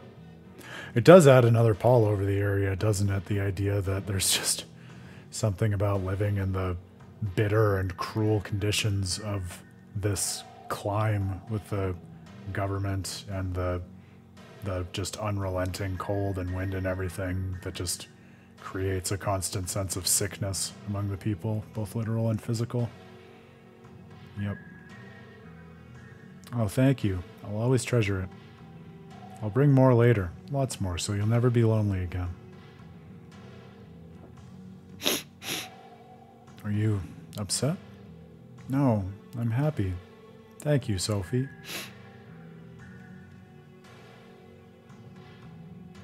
You're welcome. Okay, we're out of here for real this time. Please come visit again. Okay. See you next time.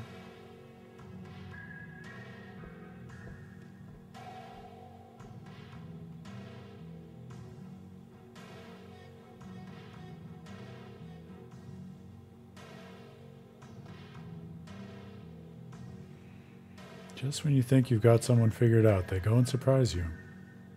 I never expected to see Sophie do something like that. She did a good thing. You should be pleased. Yeah. Yeah, she did.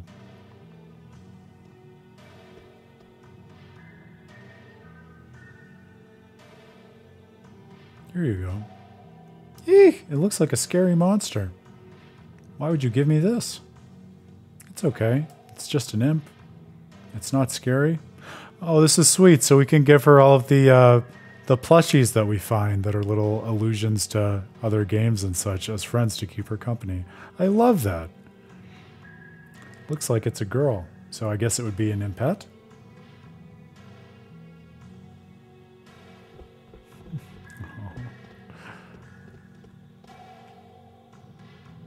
I'd lost track of how many we had. Here you go. It's so heavy. What is it? Does it have a name? It's um, Bush Baby. Only ancient people know about it. Hello, Mr. Bush Baby. Nice to meet. Oh, it's so heavy. Please take it off me. uh, like the classically heavy Bush Baby statues.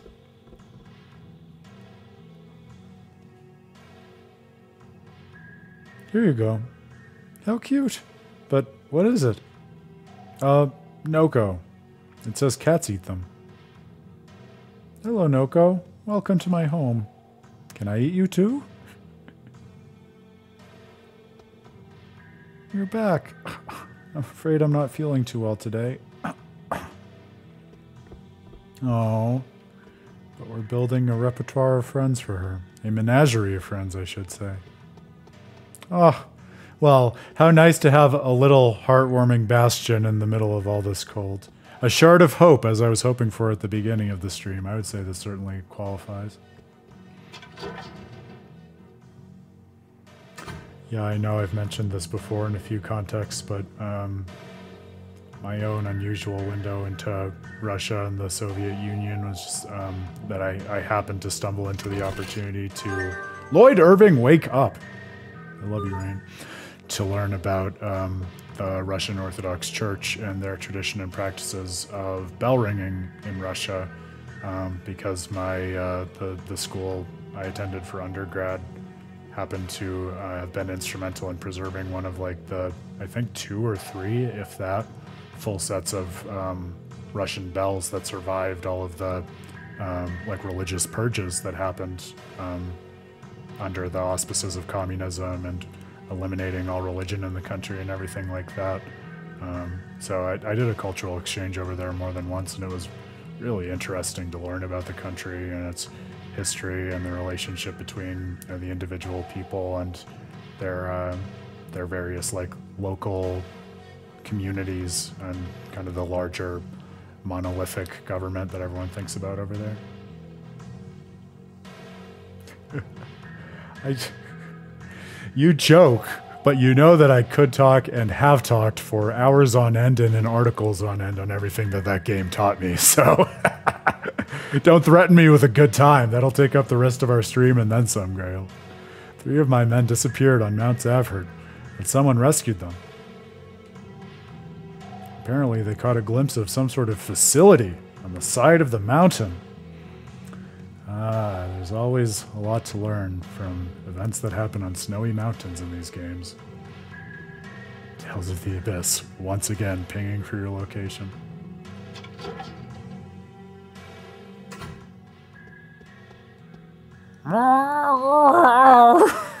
what a cat. The crazed looking cat seems to want fish. Sea bream, alright. Thank you. Hey, welcome home from. Uh, oh, oh, excuse me. I mistook you for the girl who lives here. I worry about the girl who lives here, so I come over and check in on her from time to time. Doll within a doll! for all those who are not yet clear on whether or not it was a direct allusion to the USSR, we have Russian nesting dolls. The What a dubious man. strange doll. There's another little doll inside it. There is something I should tell you, brother. Yeah? What is it?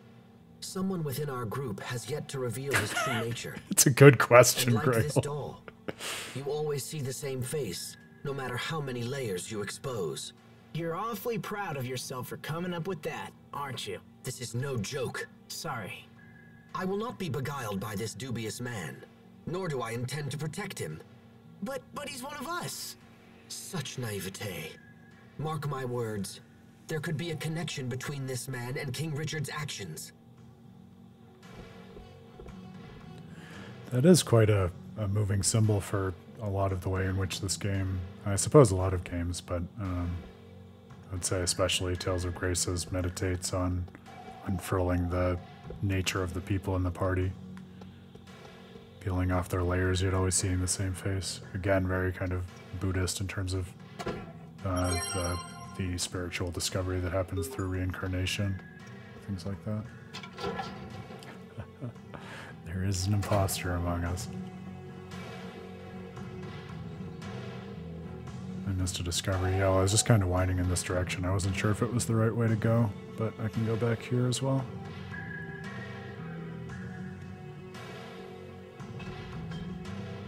Because this is the way we entered, right? I know we haven't been down this path yet.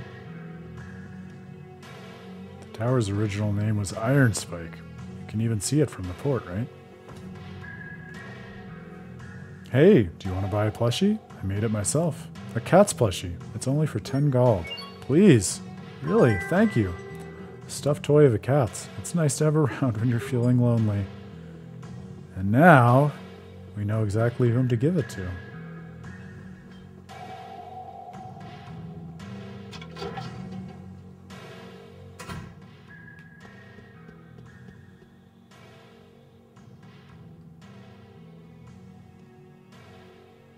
It's a cat. How cute. Oh, wait, is it a dog? What's its name? Uh, Cats. Hello, cats. Welcome to my home. Welcome to you too, Sophie. Oh, and that one gets to stay with her in her bed. Love it.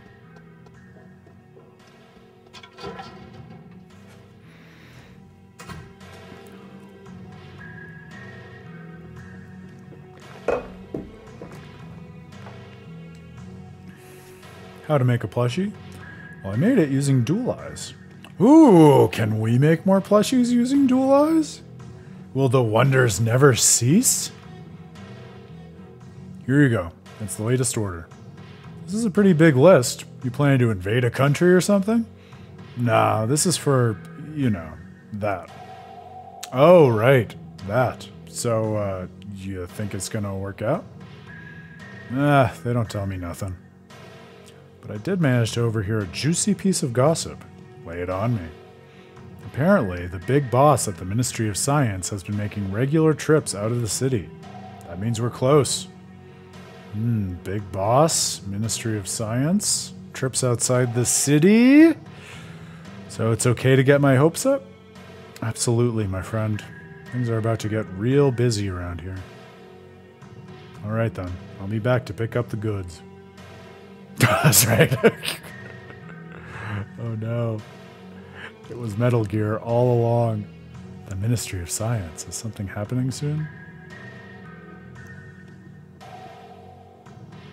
Sorry, there's been a little problem and we've had to close up shop until it's resolved. The raw materials we mined on Mount Zavhert were lost when we were attacked by a strange monster. A strange monster, you say? Oh, that poor child all by herself again. Oh, I'm sorry. How can I help you? It's Metal Gear all the way down.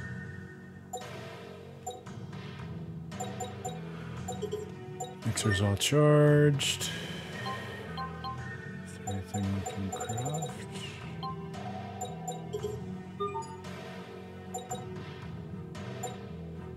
I think we're okay. I think we just did that. Cheria acquired the Do Gooder title. All right. Foreman yelled at me again this morning for almost an hour. I really have to get it together. Proper child labor. We know. We're almost there. The rumors are true, so just hang on a little longer. Something's giving these folks hope. Presumably some plot to fix or get their Valkines Cryas working?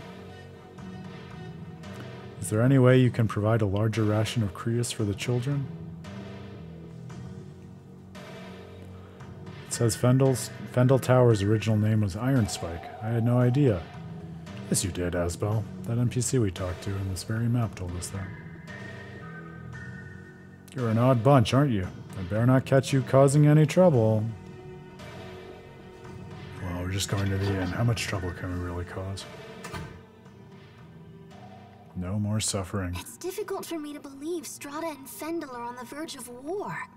So, what will happen if there's a war? Is everyone going to die? We won't let that happen. Asbel won't, I won't, even Hubert won't. But whenever I think about dying, I get scared. It's like my whole chest tightens. What? I wonder if that's a part of her remembering the time she protected us. Come here, Sophie. I'm sure you just had a bad dream. There's nothing for you to worry about.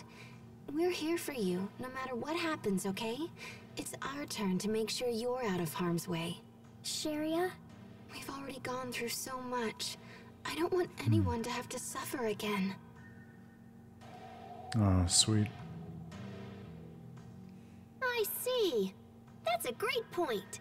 Well, it was fairly obvious. What's going on? We're checking out Asbel. Doesn't he seem a little strange to you? Maybe. Guess I should just ask him. Hey, Asbel! Hmm? Listen, you've been acting all distant lately. Did something happen? Well, Yeah, very Pascal, ominous. Yeah? The truth is, it's surprise. Huh? What? Happy birthday! Pascal? Oh my gosh! What? You guys are the best! Something like that? Something like what?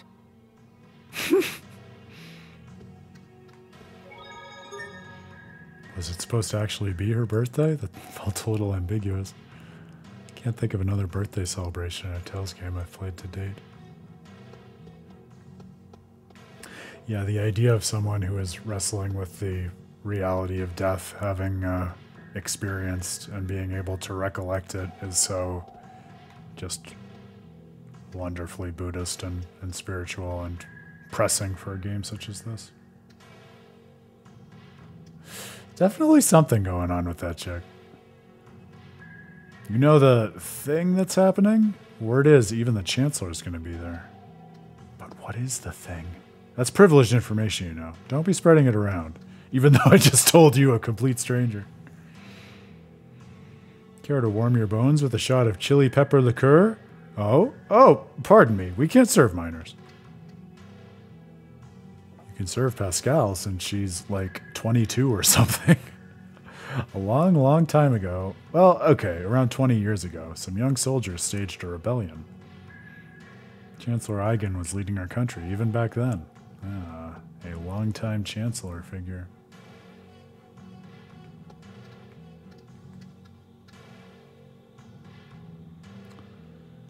All our rooms are toasty warm. Rockgagong fur. There's that request. Don't hurt the creature and don't die. Yeah. Raw materials. Oh yes, and these are the materials that um, the shop was saying it lost. The equipment vendor, right? All right. Well, you have some quests to keep track of at least.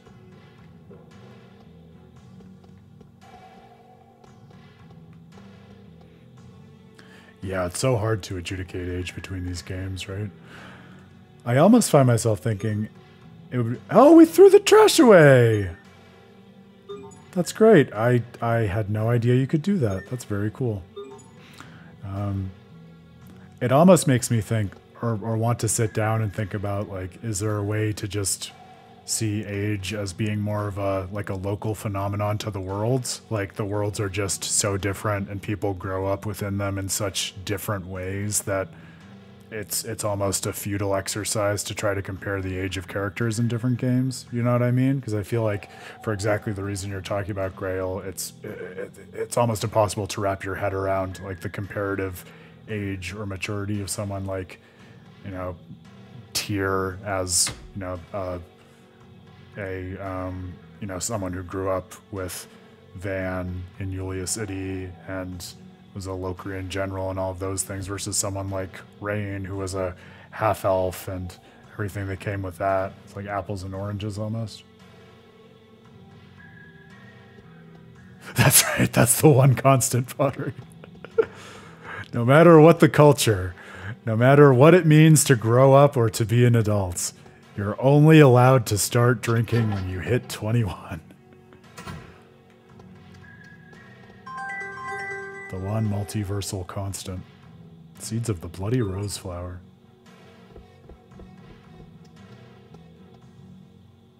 They're extremely strict about who's allowed to visit the Sea of Ice up north. What's the Sea of Ice, you ask? Well, I was just about to. It's a frozen stretch of sea that extends north of Zavhert.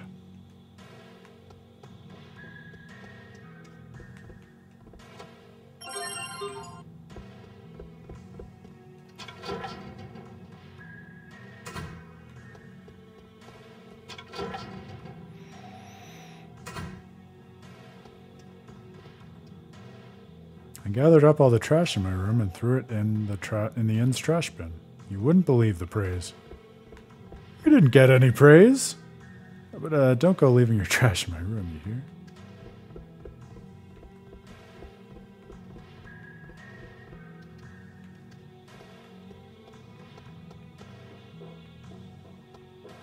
Sure, yeah, that's another good point in terms of age meaning something different based on the actual uh, marking of time in the different worlds, too.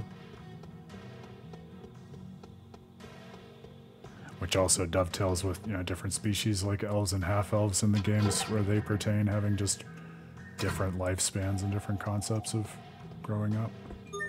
We don't have this, we don't have this.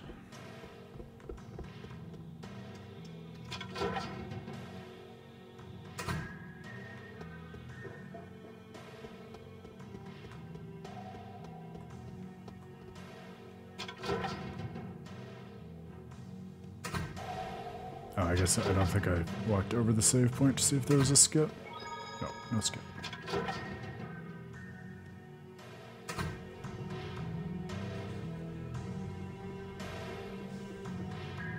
Well, right, I, I think that was the joke.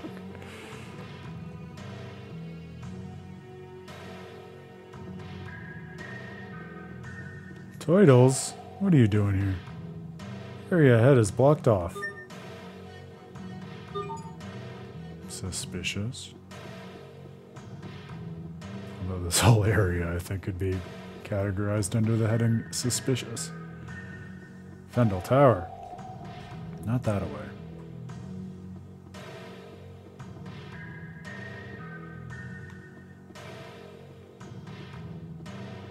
Oh, there you go. See another subtle cameo that I would have missed otherwise. Good call out, Grail. That seems to be just uh, the, the more of those we pick out, just Tales of Graces particular language for doing cameos in such a different vein to what we just saw with Tales of Berseria, right? Where um, not not that it got in your way, but it was very direct and explicit about them. Gray skies and white rooftops as far as the eye can see. Such is the scenery for the residents of Zavhert.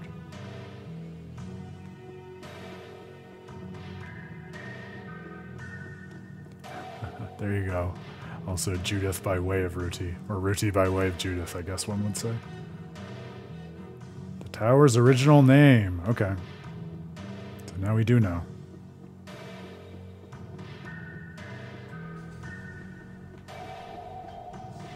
It was Spike Tower, right? Iron Spike. Good. Glad I checked.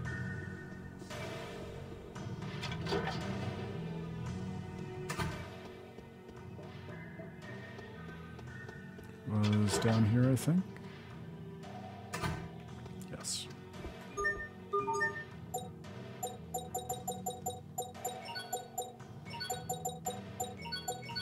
Today on the New Game Plus edition of Aaron Tries to Spell on the First Try.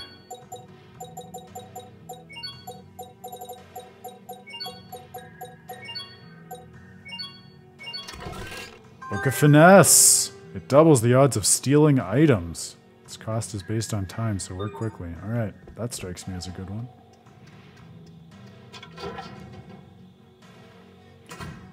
Yeah, and I feel like it's a nice level of challenge uh, and steps so that it invites you to fully explore the town and check out all the nooks and crannies, but you also don't feel as if you're sent on a wild goose chase or it just distracts you too much to the point that you lose the flow of the broader journey.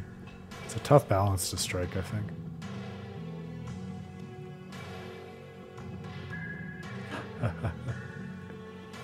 That's how you know we're spending too much time together, Pottery. Even the uh, the nuances of the reactions to different things can be anticipated. Or put differently, we're all delightfully consistent. Fendel Tower would be a truly terrifying place to sneak into.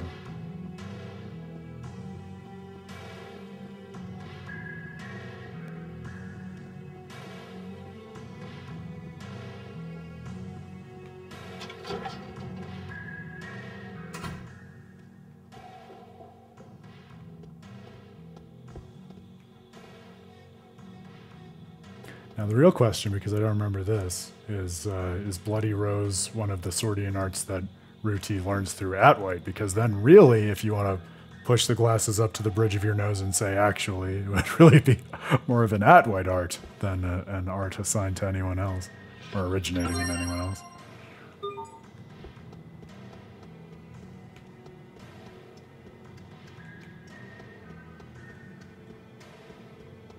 Interesting. Hmm. Looks almost like a uh, a researcher's lab with all these different pieces of tech strewn about. That one looks reminiscent of um, the ruins that we saw um, underneath Wallbridge, the Martian ruins. Hmm, interesting. What an interesting residence. Another Toidles. There's so many here. Travelers and sailors have used fossilos to navigate since ancient times. We Turtles has too.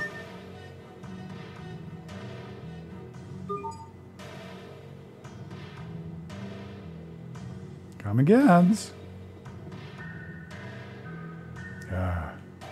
It's almost enough to make me want to go load back up my save and see if she has it in, uh, in my playthrough. Just to get to the bottom of this. We have to know. Halt! Proceeding beyond this point is strictly prohibited. I, I guess you can tell me what to do. My stupid heater died. Might as well sit around outside for all the good it'll do me now. I wish the big boss would hurry up with his grand plan. Don't you think? Actually, forget it. If I'm going to be this cold, I may as well start spending my breaks in Fendel Tower. Grand plan. It's another one with uh, a nice spattering of different levels uh, and ways in which to navigate between them, like we were talking about back in the um, the research-oriented town whose name escapes me. They say Mount Zavhert is the most inhospitable place in the world. If you're not impeccably prepared, you'll be a frozen corpse in no time. Ooh, boy, I hope we don't have to go there for any reason. I know, and I remember the last time the Fossilis came up, way earlier in the playthrough, I was looking forward to learning more about it, and I feel as though we still haven't, and I'm growing less confident that we will get a substantial explanation at some point. But again, it's pacing for this game, hard to wrap your head around. I mean, level 34, so we can expect to certainly get more explanation of some things before all is said and done. It's just interesting, especially given the kind of um, the the range of different focuses that you get in the narrative uh, back and forth. What may or may not end up being explained based on what ends up inside or outside of focus.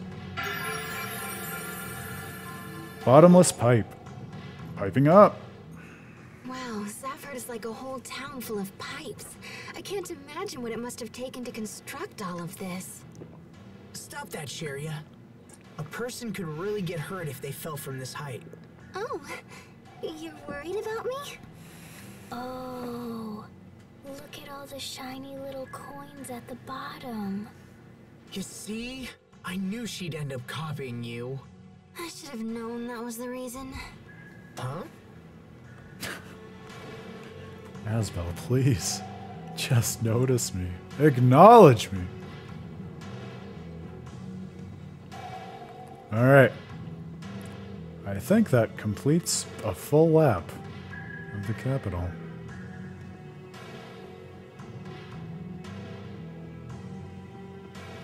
Yeah, there must be a disgruntled townsperson whom we missed.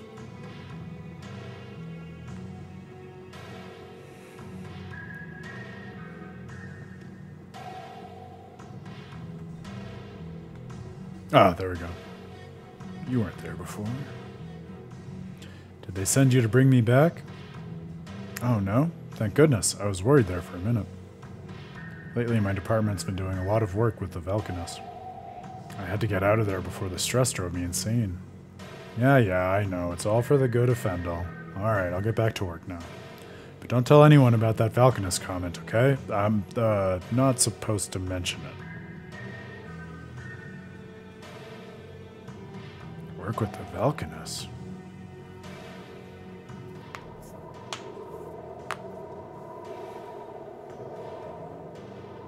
It sounds like Fendel really is conducting experiments on their Valkanists, but we still don't know where it is. I'm still surprised the Amarcians are apparently helping them. Me too. I thought they were all extinct. Man, this is bad. This is really, really bad. What are you getting so worked up about?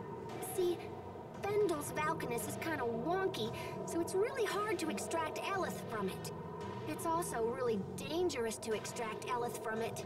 And if this little experiment of theirs fails, boom. Um, what do you mean, boom? I mean, boom! Like the entire country of Fendel being wiped off the map. That kind of boom. Chernobyl, but JRPG. Remember that crater we saw on the way here? That was when a Cryas about this big decided to explode. Oof. Tiny Cryas, huge crater. Now, think about what would happen if the entire Valkines exploded. Jesus. And even for a JRPG, when there are so many world ending cataclysms, this strikes me as a, a particularly vivid portrait of existential risk. Maybe because it's just so much more rooted in the consequences of just day to day political and governmental decision making. So it's, it's uh, in a certain sense more believable and relatable than a lot of the cataclysmic crises that you get at the end of JRPGs. How do you know all this, Pascal? Because I made the crater. Well, there it is. I think we all knew that at this point, right? That's why I know this is bad. I'm pretty sure they're using my research for their Valkines experiment. I knew it as soon as I saw those soldiers' weapons at Warrior's Roost. The principles are totally based on my work. But wait, I thought they were using a Marcian technology. Yeah, they are. I'm an Amarcian. Oh! What? Oh, did I not tell you that? I could have sworn I mentioned it at some point. You're Too distracted with trying to touch Sophie. Hey,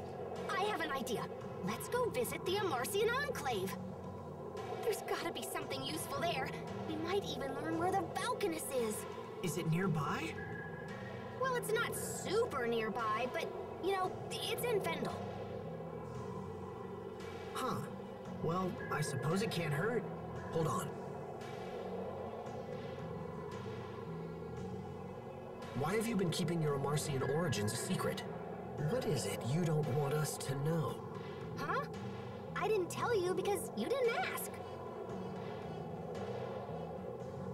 And you, that little show you put on earlier was far too convincing. Perhaps there is more truth there than you would care to have us know. Hubert, stop it. Oh, right. I suppose you don't find this suspicious in the least. It's all right, Asbel. Your brother is correct. I am originally from Fendel. However, this is the first time I've been back in over 20 years. I knew it. You still want to travel with them after all this? Malik lied about his origins, and Pascal thinks we need to ask if she's a member of an extinct race. I suppose lies and deception just come naturally to these people. I'm sorry, Asbel, but I cannot abide allies who engage in deceit. I will go no further with them at my side. Hubert, wait. There they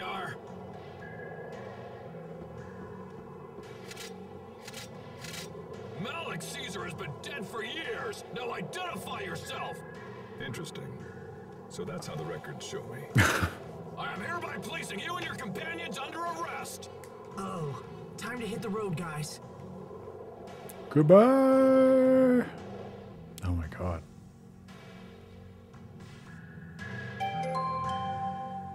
Real Martian. What a title. I want to see the description of that one.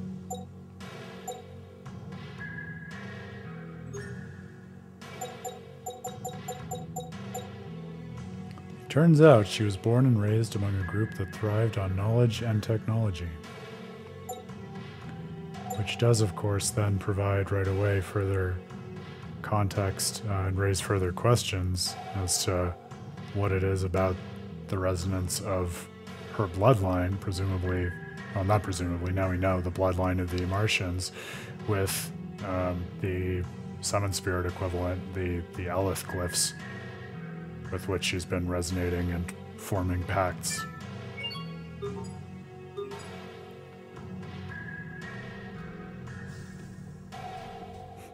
That is an interesting moment for being able to double back to the end. It struck me as the kind of classic moment in a JRPG where, oh, well, okay, so it's just, it's just that soldiers are hostile, so we can choose to go back, but it doesn't change things in that context.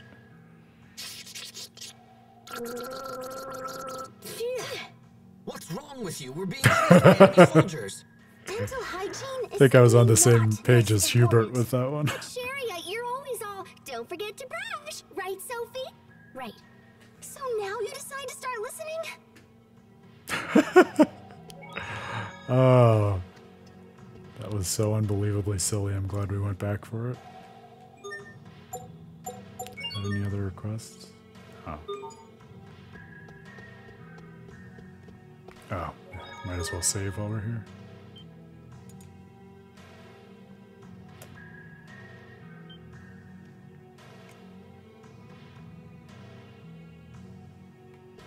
Very funny. Worth going back for.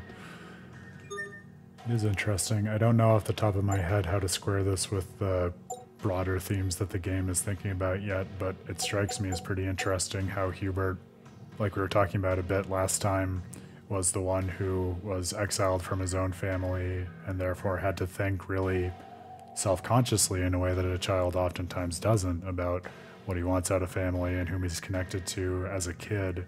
And now he's also the one uh, with kind of the, the most aggressive grip on reality amongst this ragtag group of different people with different origins, where they are very much just kind of going through the world and focusing on their quest without sort of a uh, a willingness to open up to each other or even the presumption that that's something that is warranted or conducive to their quest and it's only given his particular spec- uh, perspective on his past and how he's come to terms with that to navigate the world over time that he raises that context and brings it into issue in a way where it would otherwise remain unspoken. I think that's an interesting way of advancing the party and, and kind of forcing exposition, excuse me, forcing exposition, if you want to think about it from that narrative perspective based on the particularities of his character. I'm going to rest at the end while we're here. I didn't realize that the party was a little gassed.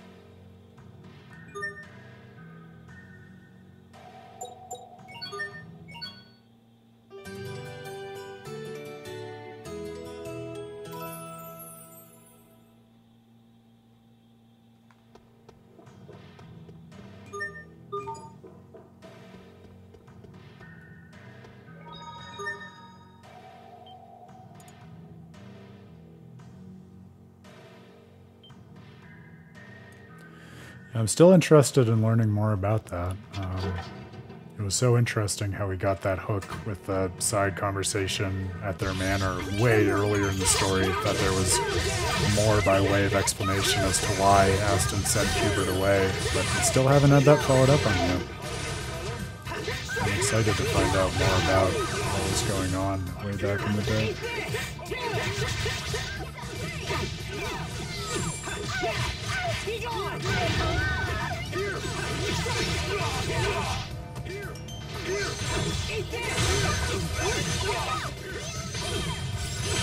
You need to study up on the basics. Well, thankfully, those folks seemed much more manageable than the Ropers.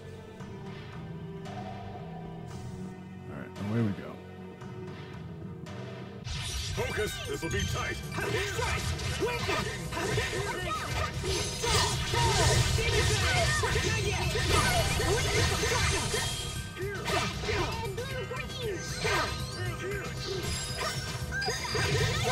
Why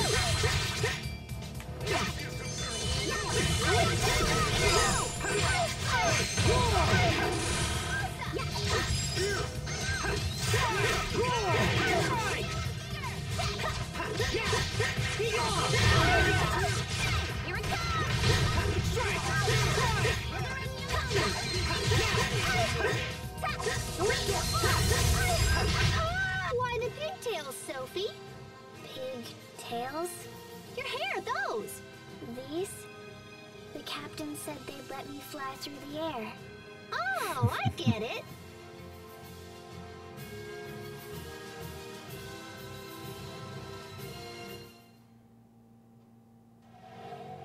Maybe part of it with Hubert too, just thinking aloud, is I feel like there's an interesting complex of like the fear of abandonment by family, and so very insecure attachment to others, and also the feeling that like he'll be betrayed for instrumental reasons and used by others in the way that he was betrayed by his birth family, and from his perspective, regardless of what the actual reason may or may not have been, shipped off for their own reasons that were beyond his understanding um, and outside what they explained to him to another country and another family. And so that perhaps has given him like an interestingly instrumentalist insistence on everyone being really transparent on their origins and motives for traveling together. Because if he doesn't understand like with clear eyes and firm understanding why it is that everyone is as a matter of fact aligned with one another he doesn't trust that like they can maintain their alignment which again is, is sad because you can see how informed that is in probably pretty unhealthy ways by his trauma but it's also useful for shoring up a party that seems to be in, in many ways withdrawn into its individual members rather than collaborating openly and being um, proactively forthcoming with details about their past.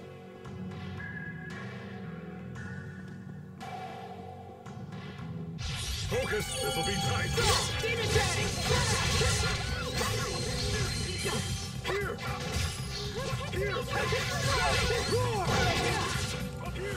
Grail, I understand what you're saying, but again, I'm going to say with a challenge like that, you're kind of complaining, saying, like, oh man, yeah, you know, Dark Souls, you think it's hard, but it's impossible if you're only playing with one hand and no armor and, you know, a, a broken weapon. I respect the hell out of you for doing it, but I will never miss the opportunity to remind you that you absolutely do it to yourself, my friend.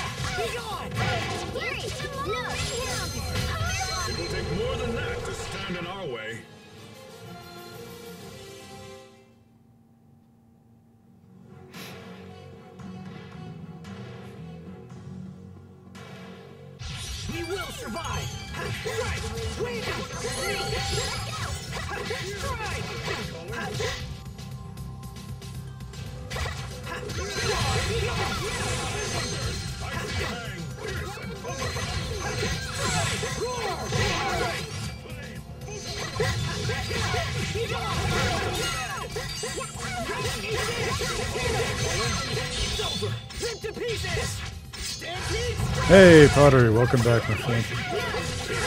Hope you made yourself something tasty for dinner.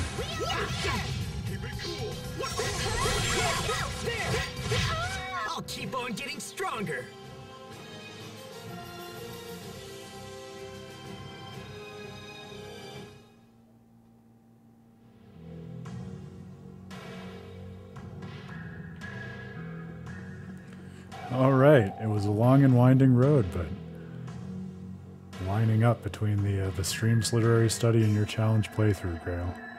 We knew we'd make it back eventually. Okay, we should be safe here. What do we do now?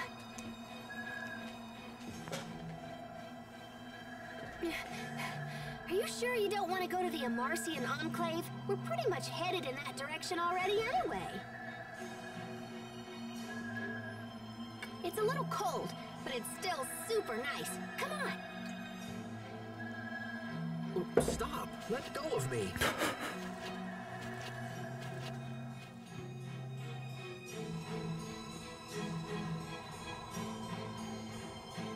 I once spotted a person coming down from the mountains. Rumor has it that there's some sort of town or installation up there, but I think that's crazy talk. It probably won't come up again.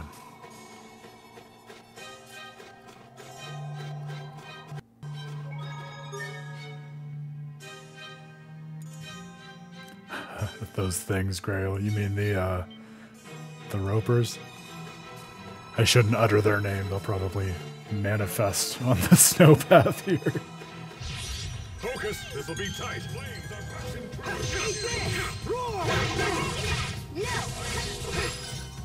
Flames are passing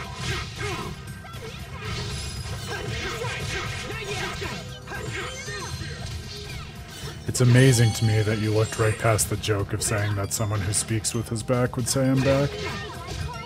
I haven't even seen the reference to that that you keep insisting we need to unlock, and I know that just because of all of your callouts.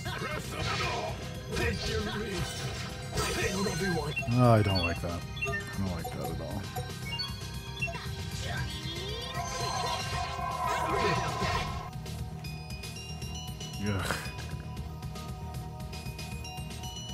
You're gonna die, clone!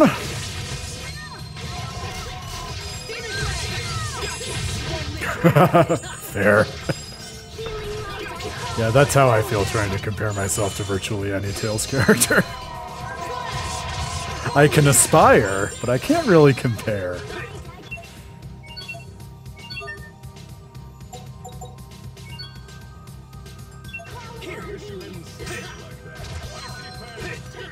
Kind of getting that vibe, Grail.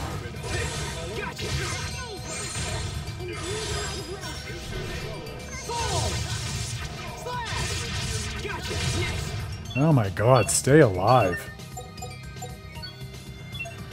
Dum dum supporters.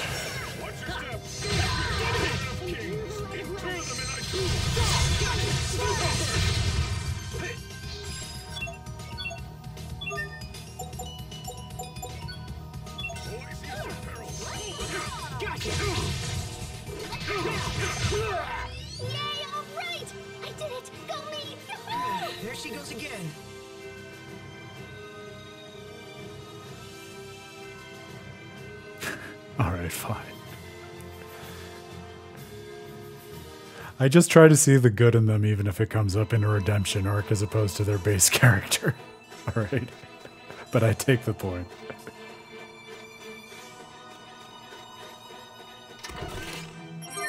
No, see, that's the game telling us we can make it through without grinding, giving us a life bottle. I'm not gonna grind. I won't miss enemy encounters, but I don't I don't want to grind if we can avoid it at all. And we have cooking to keep us uh, stabilized at least a bit across um, across random encounters.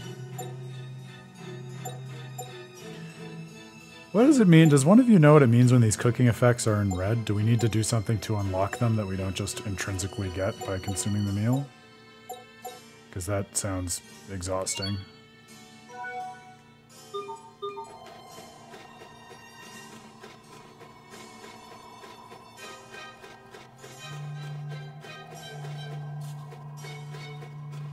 Yeah, we could go back to town, but we just left town. If push comes to shove, we will. Emperor's Claw. Focus, this'll be tight. Well, it looked almost like the kind of um, word coloring that you get when you're not able to use something yet. I hope that's what it means. If that's the case, I'll just prioritize those.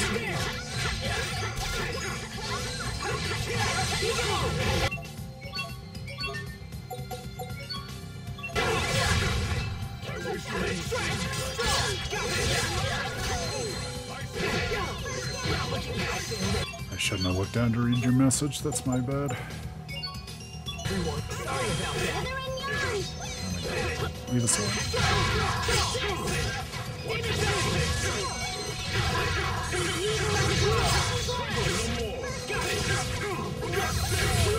This is what happens when you misjudge your foe.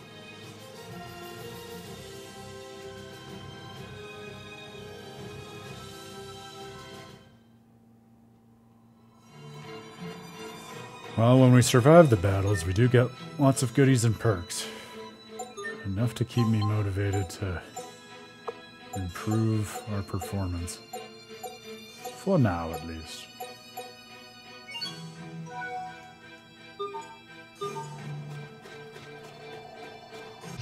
Focus! This'll be tight!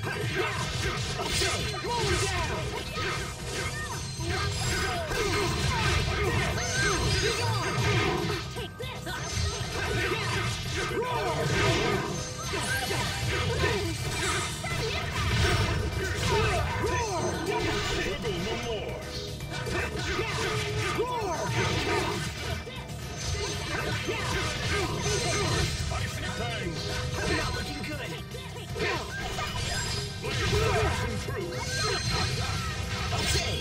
Slow him down! Slow him down!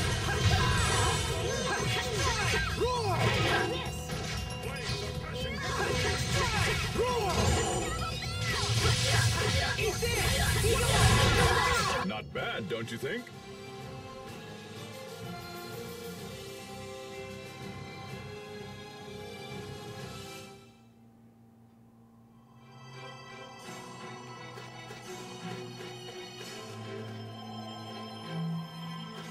Oh, so it's just indicating that doesn't pertain outside of battle. But that doesn't mean we have to do something like using them inside of battle, right? It just means that it's only going to apply in battle. That's interesting. Although, well, no, but see, like something like the peach parfait, it indicates that its effect is in battle, and that's not coded red. So I don't think that's what it means. It was a good thought, but I don't think that's what it means. Focus, this'll be tight. Be gone! It's over! Rip to pieces! There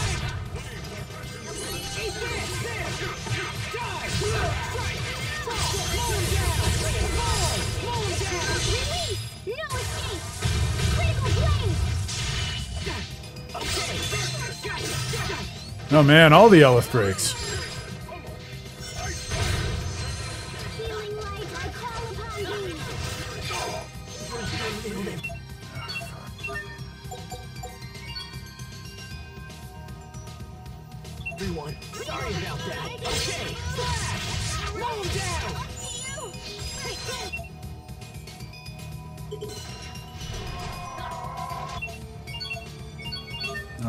Check that out after this then.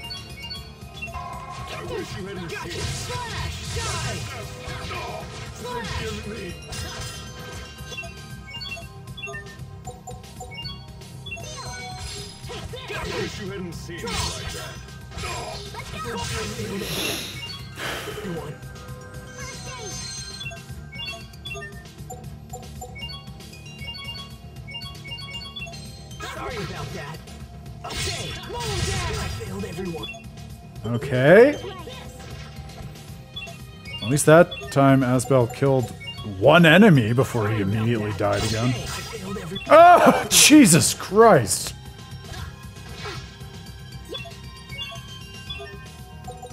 Really fair and balanced. I really like it. Sorry about that. Yeah, it is bad.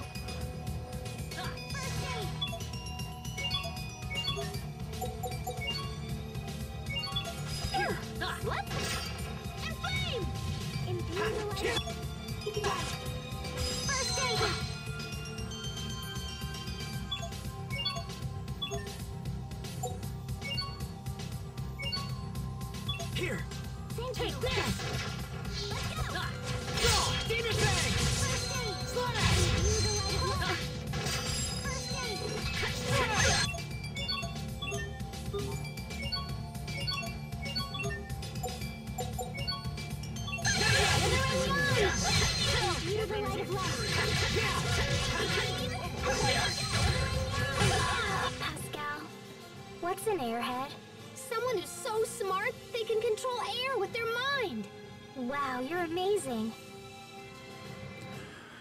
It's a very good point. It does lend much more credibility to the idea that this area is not meant for any sort of human life or thriving for all of the enemies and even the people who would survive here as soldiers to be so brutal and unforgiving.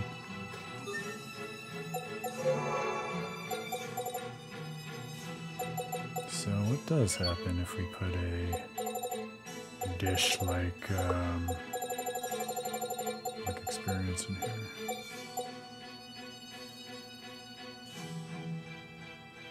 Oh, so now it's not redded out, so... Is it just indicating that that only procs when it uh, is used from the mixer?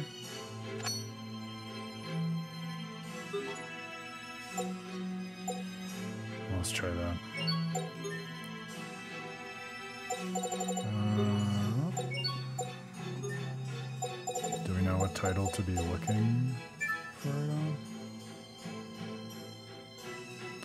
That gives us Phantom Dance, which is something new. Dagger Slash. Sword Assault and Rapier Rush. We have a lot of titles that'll give her new arts. Rejuvenate? Does that I don't think it lets us go down and actually look at them. That sounds like something that could be... Well, it sounds more like revitalized to me, but it sounds like something that's healing at least. So let's do that for the moment.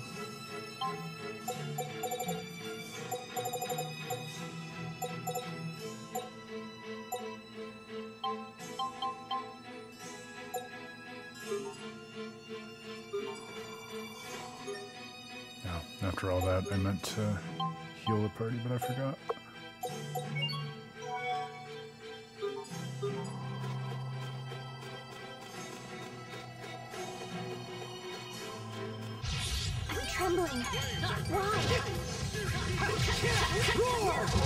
Because all of these enemies are the worst, Sophie.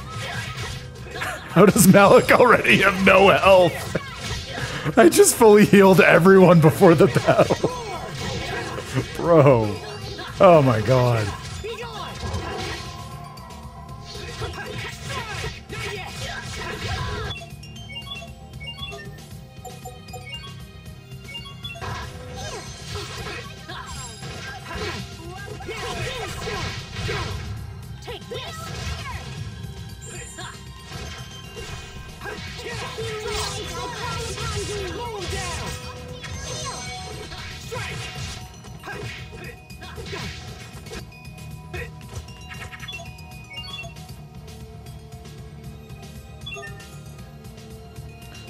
Harshest, and it's only getting the harsherer.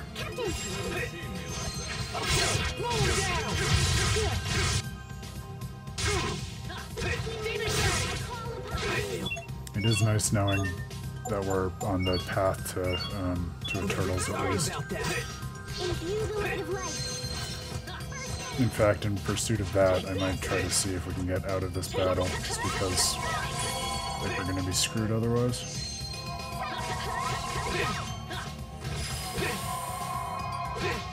God, come on.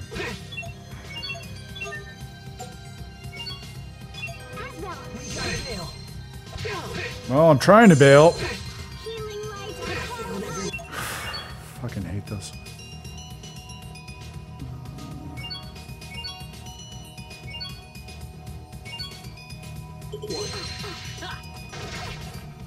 Take this. Dad, I can Alright. Didn't like that at all. Wow, it doesn't even let you retry. Good. Good. Really good. Really good. I loved that. That was great.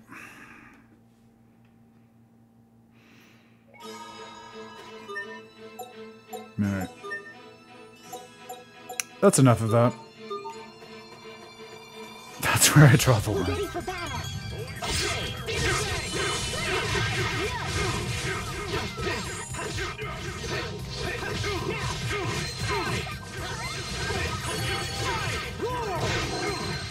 Yeah, evidently.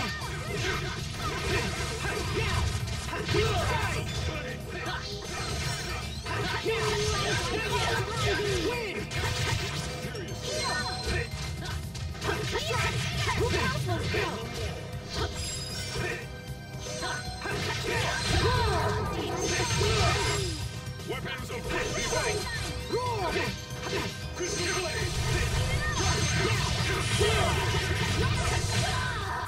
Captain. You're not doing so bad there yourself, Asbel. It was not great work. He can't stay alive. Honestly, if he were voiced by anyone else, I would not be bothering with him in the party right now. Yeah, we do know what title to give to Sophie. Let's do that. Um, it was over here, right? Yeah. That'll help.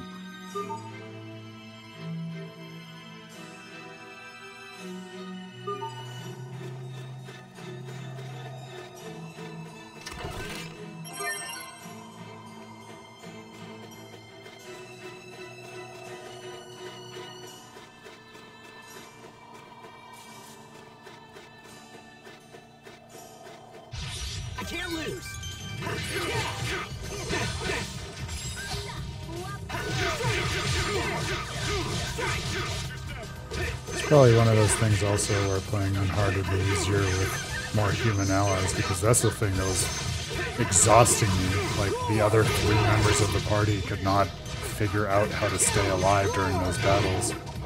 So I just look up and like half of the party would be dead within the first 10 seconds. Which is not a great feeling.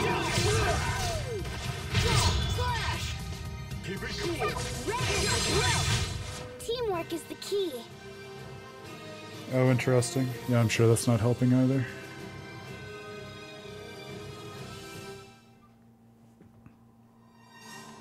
Oh, I was also I liked the idea of putting that uh, experience boosting one in the mixer.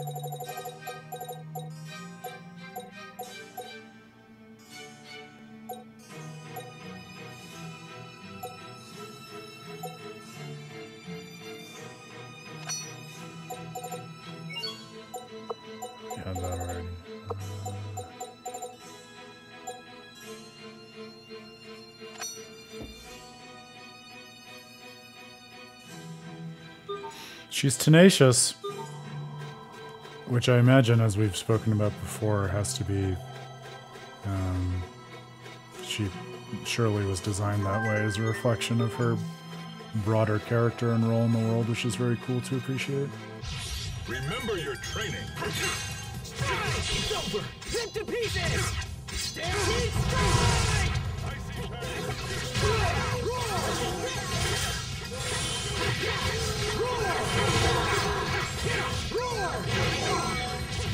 Yeah, I hadn't even really schematized Sophie in my head as a caster, since in my head I think of her more as having all of her melee arts, but I suppose especially on higher difficulties, um, as we just witnessed, there's a lot of stress on her to manage with healing arts, which puts her into a casting role. And then with Pascal as a caster, that makes sense. Be careful, There's not a lot they can do to manage at that point. Demon Bang! Die! Roll him down! Roll him down! Demon Bang! Yeah, Roll him down! hit you right on the money, Potter. Yo!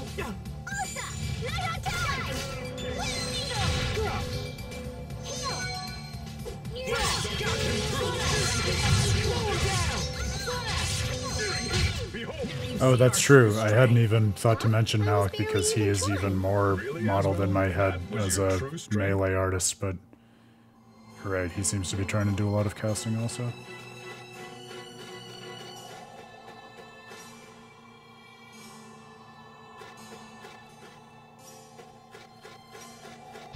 Let's do this!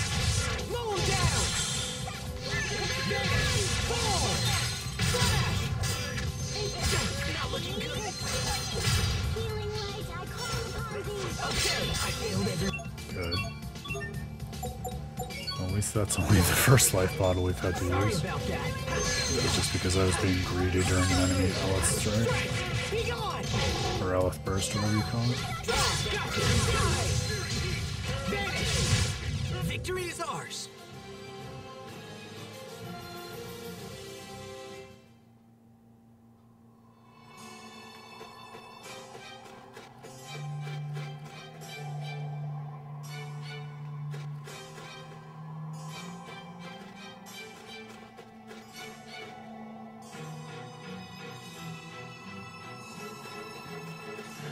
Yeah, that occurred to me after all our jokes of limiting Malik. I guess that could turn him into more of a melee fighter. Well, we'll see. I'm okay with just running it on moderate for a while and seeing how they develop.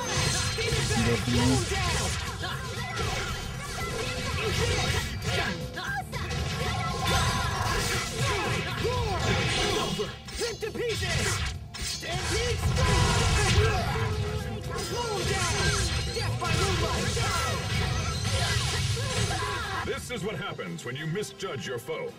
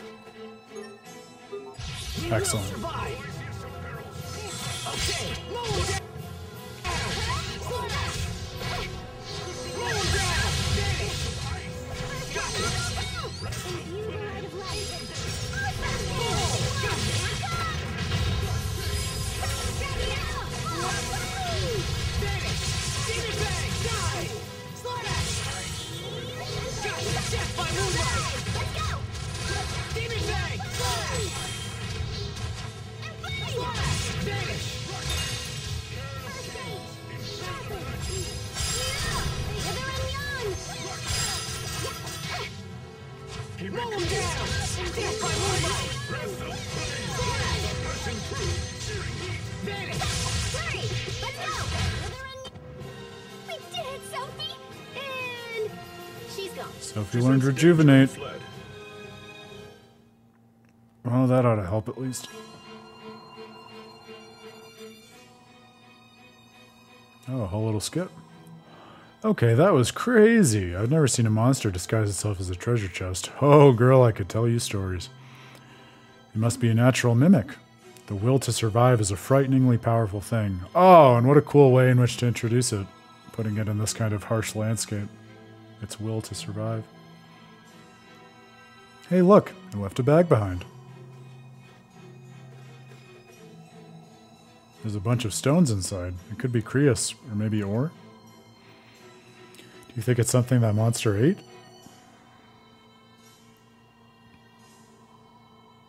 Hmm?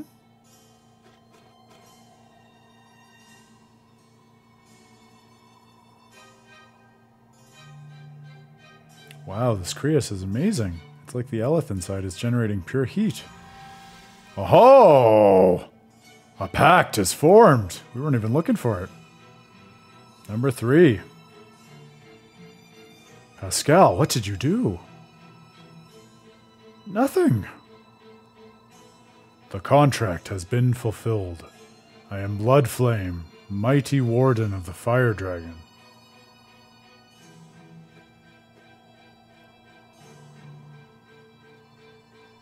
Now that we're learning a little bit more about her and her Amartian history, I'm tuned in more to the exact wording of that. It's not as if she's forming a pact with them herself.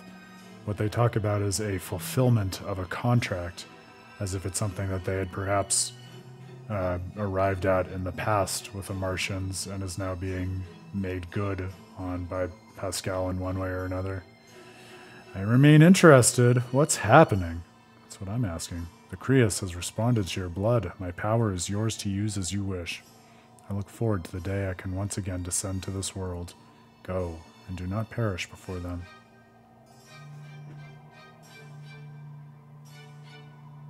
Whoops, he's gone.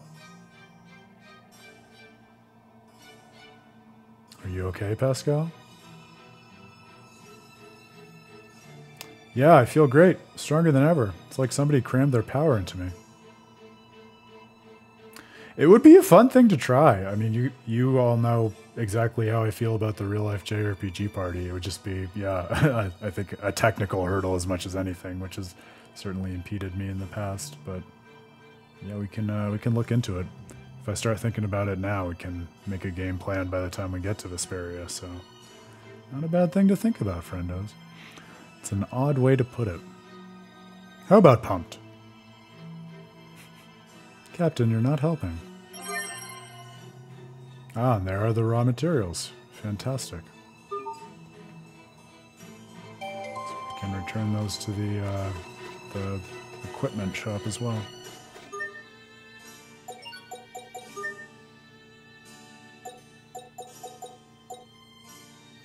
Title awarded to one who is contracted with the Ruby Warden Bloodflame. Although the description of the title does make it sound as if she has formed a contract with it, so hmm. Every time I think we're moving toward an answer, this particular game raises more questions.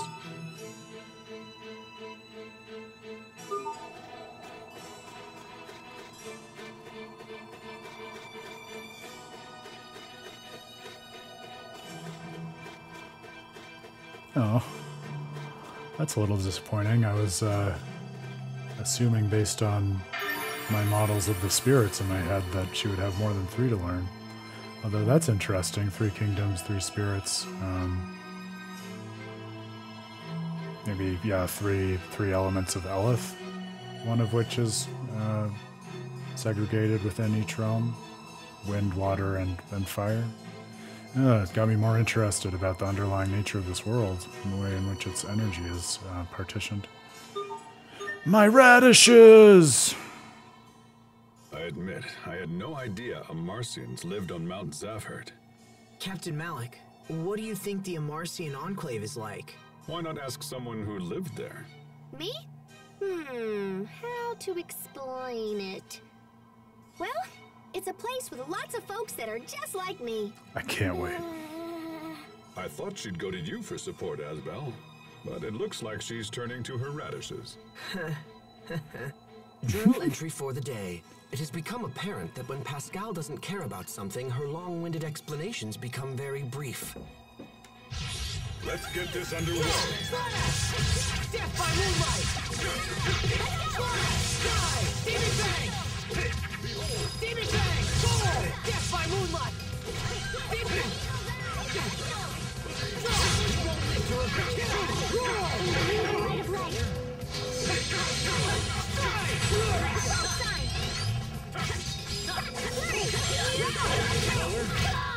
one was for the lady next door.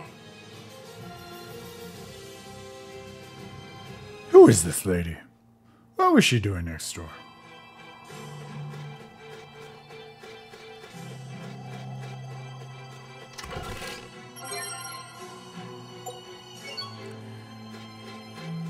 So I've been continually saying Amartians, but it's Amarcians, as that uh, that last skit tells us. So I'll try to reprogram my mouth to say that. This is no time for their dilly-dallying. We need to hurry. Hmm? Where is everyone? Did they get lost? Damn it. This is precisely why I hate traveling with them. Asbel! Sophie! Cheria! Pascal? Captain Malik? Wait. Did something happen to them? I can't go on like this. I have to find them. Little bro, where are you? Pascal? Pascal! Hey, little bro, don't run off like that. Yeah. Yikes! Didn't I tell you it was dangerous to run around on the snow? Well then, perhaps next time you could mention it sooner. But never mind. What about the others? Did you find any of them? Find them? Wait a minute. Isn't that my line, little bro? Huh? By the time we realized it, you were gone. We've been looking everywhere. What are you talking about? That makes no sense. I was right in front of you. Yeah, but you were totally walking in the wrong direction. I don't think that's true. Ah, don't sweat it. Everybody gets lost at some point. Now, let's get back to our friends. March! Is it an allegory for Hubert's childhood? Probably, but it was an interesting and unusual skit all the same. Ah, human controlling Rapide, you say? I wake!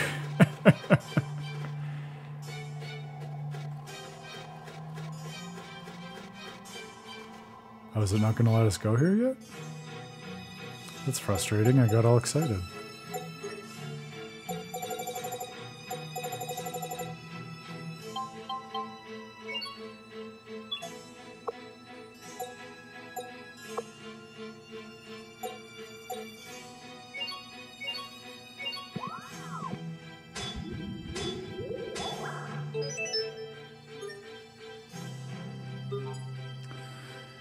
True. I did find on my playthrough that it's very hard to be damaged if you can't be hit.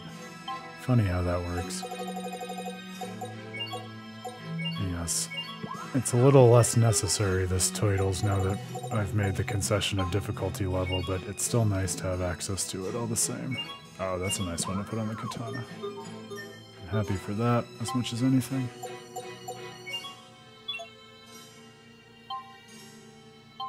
Oh, yes. I mean, had we missed Bloodflame, I would have been very sad. And nice to stumble into it when I was not expecting it. Okay. Uh, yeah, I think that's good enough for now.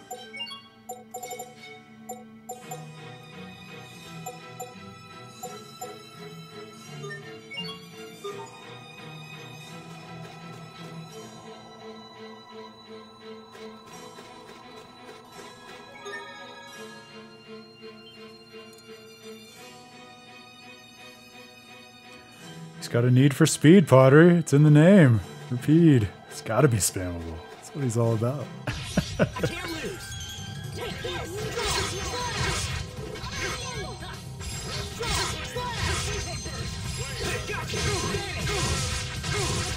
It's true. One thing you learn pretty quickly in Miyazaki's games, too. Your attack stats don't matter if you can't hit the enemy.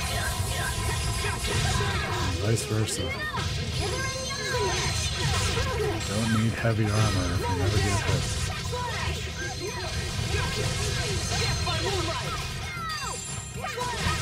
I'll keep on getting stronger.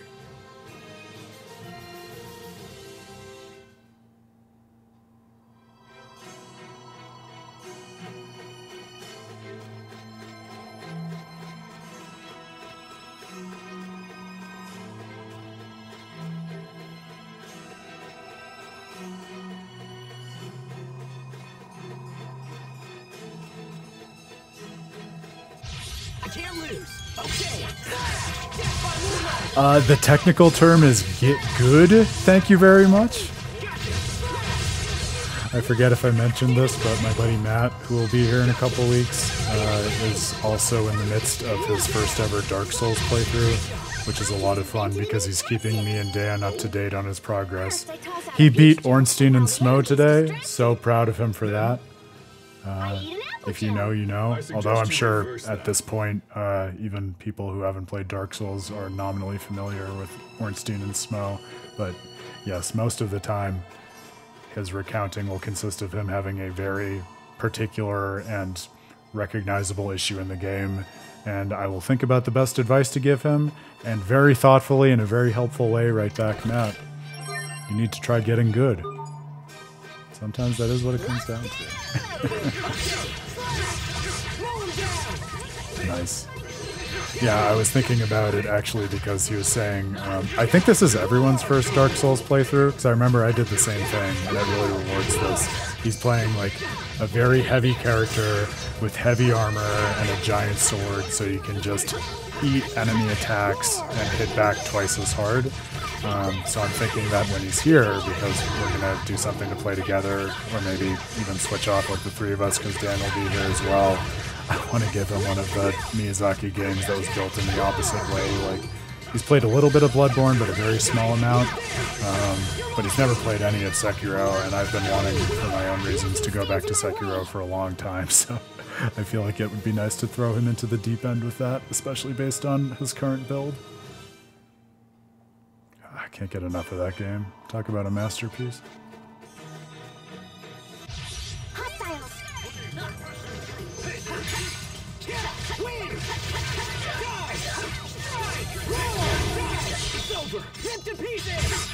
Stampede. It's over. Rip to pieces. Stampede. Call upon thee. Take this. Go. Mow him down. Fall. Flames are passing through. Breath of flame. This is what happens when you misjudge your foe. My, uh, yeah, my first Elden Ring playthrough for the majority of it was very spellcaster heavy. Ended up kind of specking into like a, um, like a spellcasting katana user, which was very fun. Because I will always try to build those into magic swordsman ever since I went from my, uh, my first heavy Dark Souls build into one that was much more, um, middle of the road weight with big heavy weapon and um, pyromancy, which was such fun. We're ready for battle. Uh, but yeah, they made magic so fun in that. Especially before they uh, made any um, any patches to it, because I played it right when it came out, and the uh, I forget the name of the magic that was just the big Kamehameha beam that was effectively the win button before they uh, nerfed it but it was a very gratifying and cathartic win button after all of the Miyazaki's games that, that I had worked through.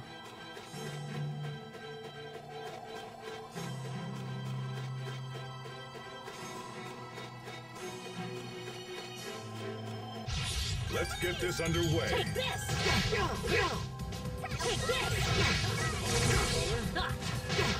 Always useful on a first run, except in Bloodborne, but I suppose uh, I suppose, especially if you go in with that model in your head, like you get the joke uh, wooden shield early on, and that tells you all you need to know about the game and how it wants you to play it.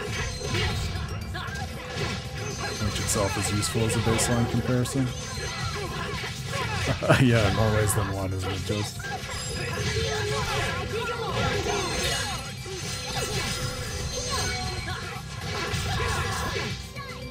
But yeah, in principle, I totally agree with you, Pottery, especially if you play a lot of games in the same uh, design language or genre, like finding a way in with a like a standard point of comparison, whether that's the same build or even thinking about like we thought about on a couple streams ago, right? Like the different ways in which the Tales games treat mages and magic users and what that says about them. Like it can be really useful to give yourself a frame of reference in that way, I think.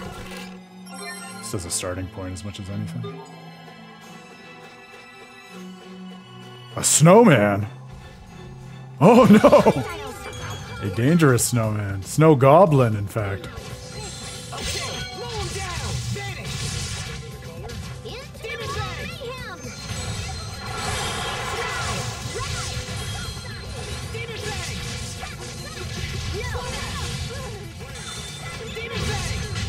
It will take more than that to stand in our way.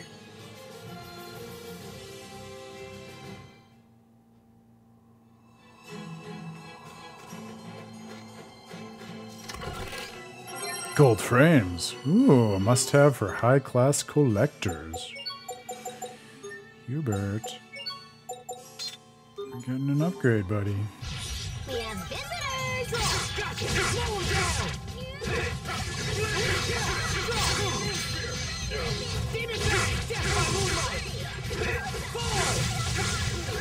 I like that too, especially in a, a, a, game inspired by Miyazaki or one of his own games. It is nice to feel like whatever sorts of boss weapons or special discoveries you make, you can actually, like your character has the versatility to put them to use. I mean, of course, especially coming to it from a Tales background, you can always change up your build or do something different in New Game Plus or something like that, but it does change things and perhaps take a little bit out of the experience to feel like with you know a third of the game's bosses or special items you just have to wait and see what they do and what they feel like later after the fact.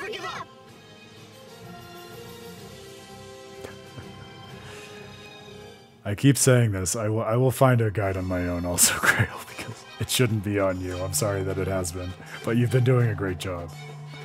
Appreciate you. I know we're almost at time, but I saw the save point up there, and I know there was a branching path back here, so I want to just make sure we've cleared that out before we go on.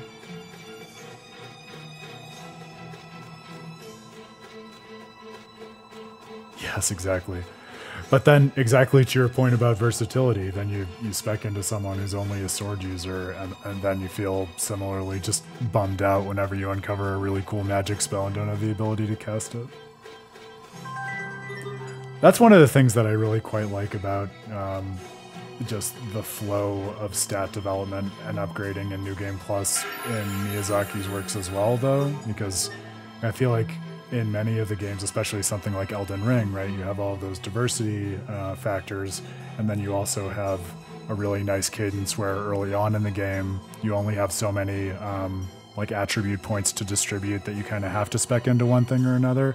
But then as you invest more time in the game and get into higher levels, it's much easier and more realistic to spec into at least the minimum requirements for most of the things you pick up. So then you can have that versatility uh, if you want to, you know, emphasize different skill sets or respec if you want to try something else out. Makes it easier to explore in that dimension.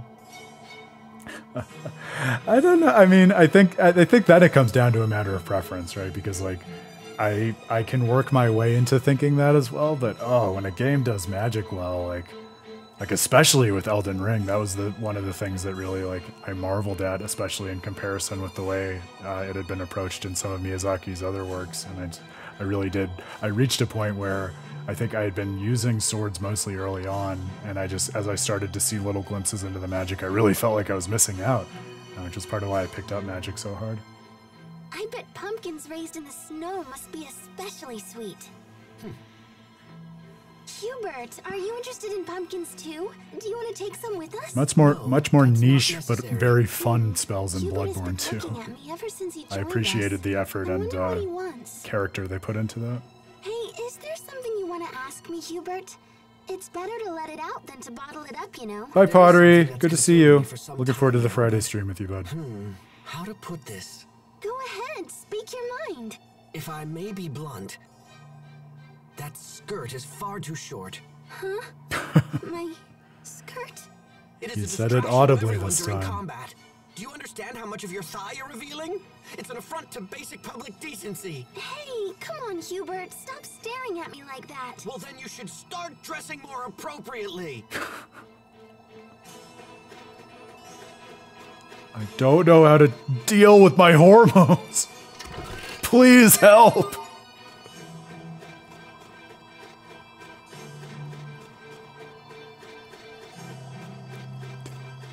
I think Potter is probably left at this point since he said goodbye, and I know he's the only other resident I think you should leave fan besides me, but there's a there's a great sketch and I think you should leave about the honk if you're horny bumper sticker comes to mind from that uh, that skit between Cheria and Pascal. Oh, excuse me, Cheria and uh, and Hubert.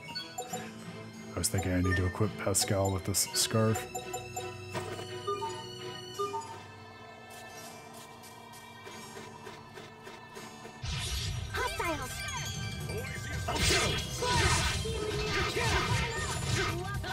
I don't I don't know that it's I mean it, it might be a sexist consequence, but I read it more as like he's just so uncomfortable with himself and obsessed with decorum from his time in the military and the structure that gave him that like that's his only way of knowing how to cope with women at all which again is probably uh, sexist after the fact but i feel like he's not doing it because he like hates women but more that he just like doesn't understand how to interact Not bad, don't you think? but maybe we can help him grow by the end of this journey together it's a jrpg remember that's much of the point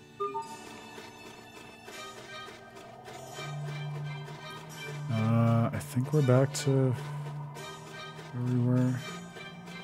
I just wanted to make sure I didn't miss the odd item, but yeah, I think that wraps around to where we were before. So I think if we go up this way, we'll have exhausted the side paths.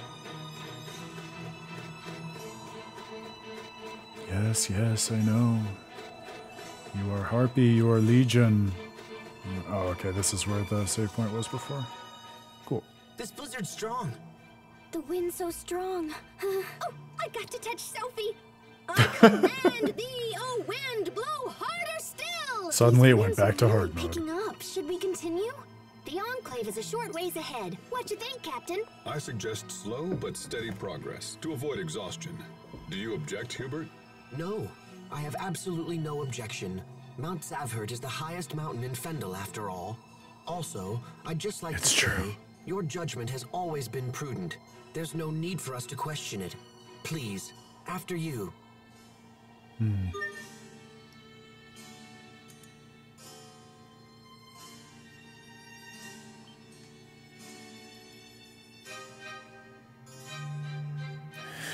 All right. Well, we reached the save point. We explored the mountain. Um, we are just about at time, so don't want to go too far over for everyone's sake and the sake of the schedule. So I think that'll be a good point to wrap up, and then we'll have plenty to process and explore next time.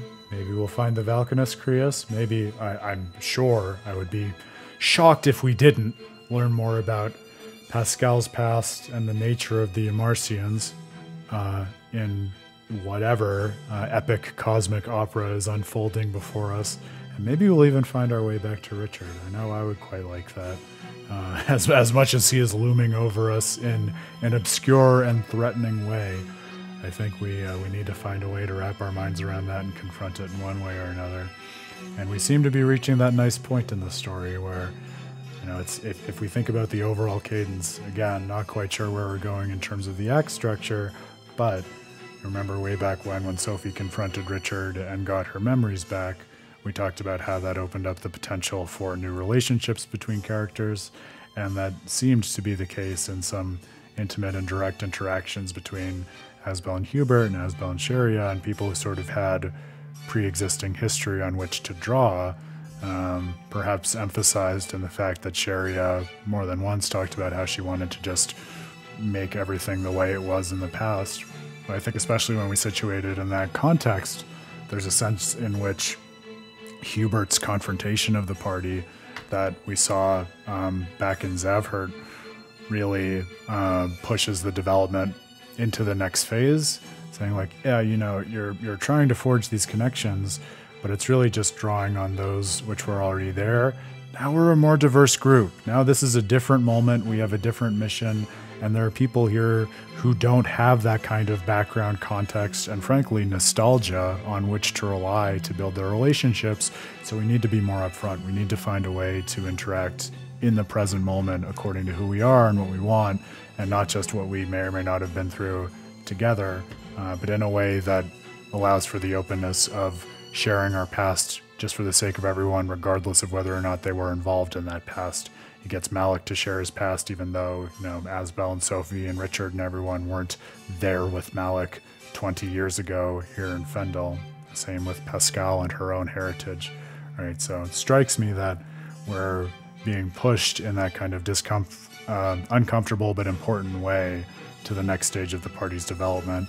And as always, when you get that kind of catalyst, uh, only further uh, drama, but also insight and catharsis and reward can follow. So I'm excited to see where that goes. we, we might get some kind of scene from the prince. Uh, it's anyone's guess. That poor dude seems to be struggling with a lot of stuff, but hey, as the party goes through their struggles and has the net of each other uh, to fall on uh, and to look for for support in figuring these things out, that's the beauty of especially a game like this that's so concerned with friendship, right? When push comes to shove, hopefully they'll be able to take all these hard fought and hard won lessons of their own and turn it to our poor dude who's struggling with God knows what on his own uh, in isolation. oh yeah, that's okay. It's uh, yeah. Sometimes there's rage. Sometimes there's well, there's struggles in the story and the conflict, and struggles with the difficulty too. Right? It's uh, it's a combination. You too, Grail. You have a great night. Uh, Padre, always great to see you, my friend. Thanks for stopping by. Doug, great to see you as well. Uh, if you were lurking or if you're hanging out in the VOD and YouTube, always a pleasure. Hope you consider joining the chat live on Twitch at some point. It's a joy to have people in the real life JRPG party. Uh, and we are continuing to unwind this adventure and to determine its shape. I think it's important to take these moments to pause and reflect on it, especially in a game like this, because I think the further we're getting into it and the more amorphous it seems to be in some ways, the more I really do feel like it's encouraging us to actively wrestle with just the right way to see things and to wrap our minds around it at all in the first place, as Sophie is, and in a similar way to what we saw with Tales of Zestiria back when we were working through that. And I talked a lot about how it was encouraging the active interrogation of its story and how we understood the world to be at various points, uh, and how we needed to further probe it and correct ourselves and understand it in real time with Sorey and the party in order to really get what its content and message was at the end of the day. So, excited to continue that work with you, excited to continue the battles for the good, bad, and the ugly of it all, and we'll see where we go next. Until Friday, my friends, we'll be back then at the same time, 7 p.m. Eastern. I hope you have a great Thanksgiving if you are observing. Whether or not you are, I hope you have plenty for which to be grateful, and you at least give yourself a moment to sit in gratitude. Um, and I hope you give yourself a moment to think well and game well and reflect on what it is that gaming can provide to you, uh, for which you can be grateful as well. So many things, I would say. So think on that, reflect on that, uh, and we'll be back on the other side of that gratitude on Friday to welcome the weekend with open arms and some good gaming. Till then, my friends, I'm Aaron Suduiko. This has been Tales of Praxis. You have a good one. Cheers.